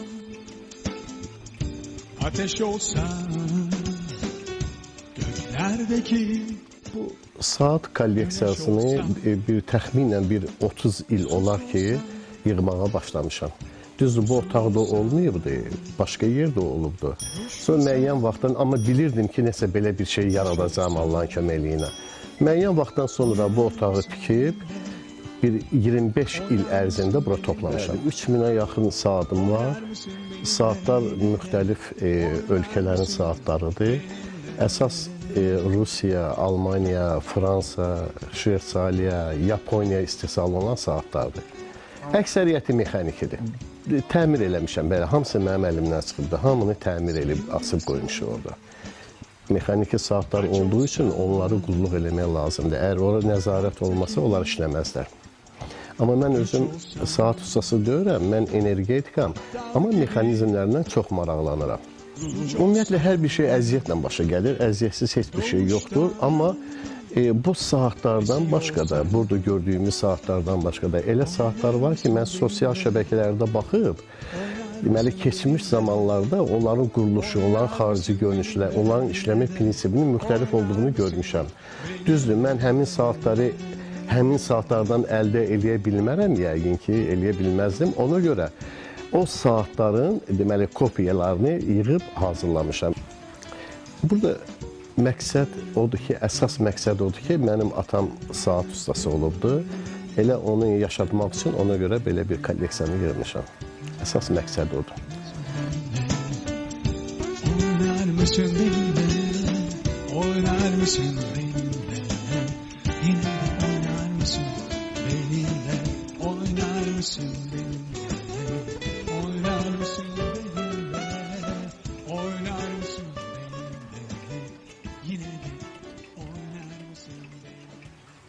3000-ə yaxın saat. Bu burada yəni tək e, polisli, stoluslu saatlar deyil, eyni zamanda cib qol saatları da vardı. Özünüz qol saatı taxmırsınız. Mən özüm neçə hə, saat taxmıram. Bilmirəm nə ilə əlaqədardır. Bəlkə özüm düzəltdiyim bir saat olar, onu taxaram inşallah. Ateş olsan göklerdeki güneş olsan olsan kusur olsan konuşmasan taş olsan oynar mısın benimle? Oynar mısın benimle? Oynar mısın benimle? Yine de oynar mısın benimle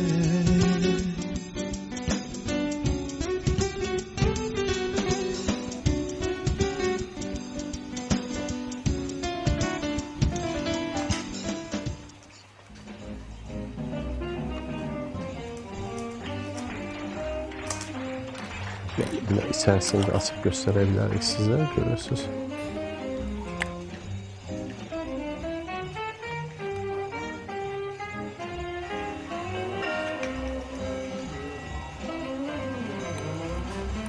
Bu da onun mexanizmidir. İşlək vəziyyətdədir. Bu, bu hardasa e, deyim də 1800 belə 70, 80, 1900-cu illərin saatıdır. Cip saatıdır, gümüşdür. Daha onun bu qurulma yeri bax buradan belə açarla qurulur. Bir də burada zavodla ilə yox, açarla qurulur bax. Əvvəllər axı buradan qurulurdu da saatlar. İndi isə buradan qurulur, saat da buradan düzəlir, bu birisi ilə düzəlir. Yaxşı, gözəl saatdır. Deməli, bizim saatımız indi 5 işli 20 dəqiqə. Gustav Bekerin saatıdır, çox gözəl saatdır. Bunu o vaxtları dəmir yolçularına veriblər. Bu da keyfiyyətli saatdır. Deməli, həm ayın həftəni göstərir, ayın tarixini göstərir, saniyəni ölçür. E, bir də e, e, deməli, ayın fazalarını göstərir. Ayın ölçüsü ilə, burada ayın ölçüsü ilə ay neçə günlükdür onu bildirir.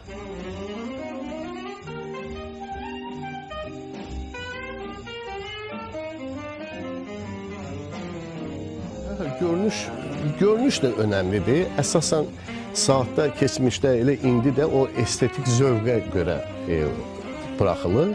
Amma mexanizm hər halda mexanizmdir də. Onun mexanizmi gözəl olmalıdır, təmiz olmalıdır, mürəkkəb olmalıdır.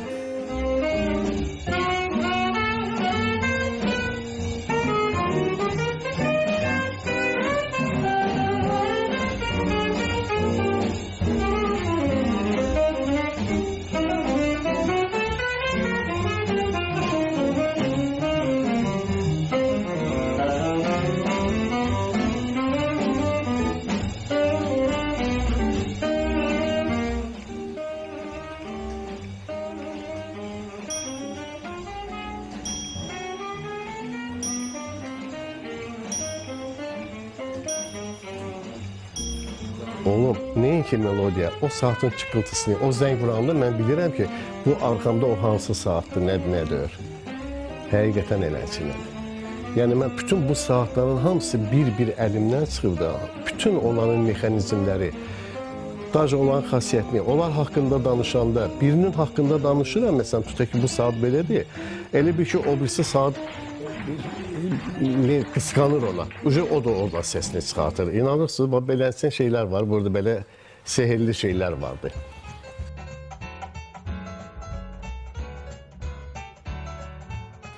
Bax bu saatlar görürsüz eyni saatdır. Eyni saatdır. Bu da, bu da, bu da eyni saatdır. Amma işləmə prinsipləri müxtəlifdir. Burada elə mahiyyətliyi, deməli rəqqası əvəz edən elə saatın özüdür. Burada bu saatın rəqqası görürsə eyni saatdır da bu içidə. Bu rəqqasın özü e, deməli mahiyyətliyi yuxarı çıxıbdır rəqqas. Bunda isə bu saatda onun rəqqası, yəni mahiyyətliyi aşağıda aşağı yuxarı hərəkət edir. Deməli bu mexanizm bu mexanizmlərdə mən dəyişiklik eləmişəm. Bunların hamısı bu mexanizmlər mənə aid olandır, yəni mən dəyişdirmişəm onları.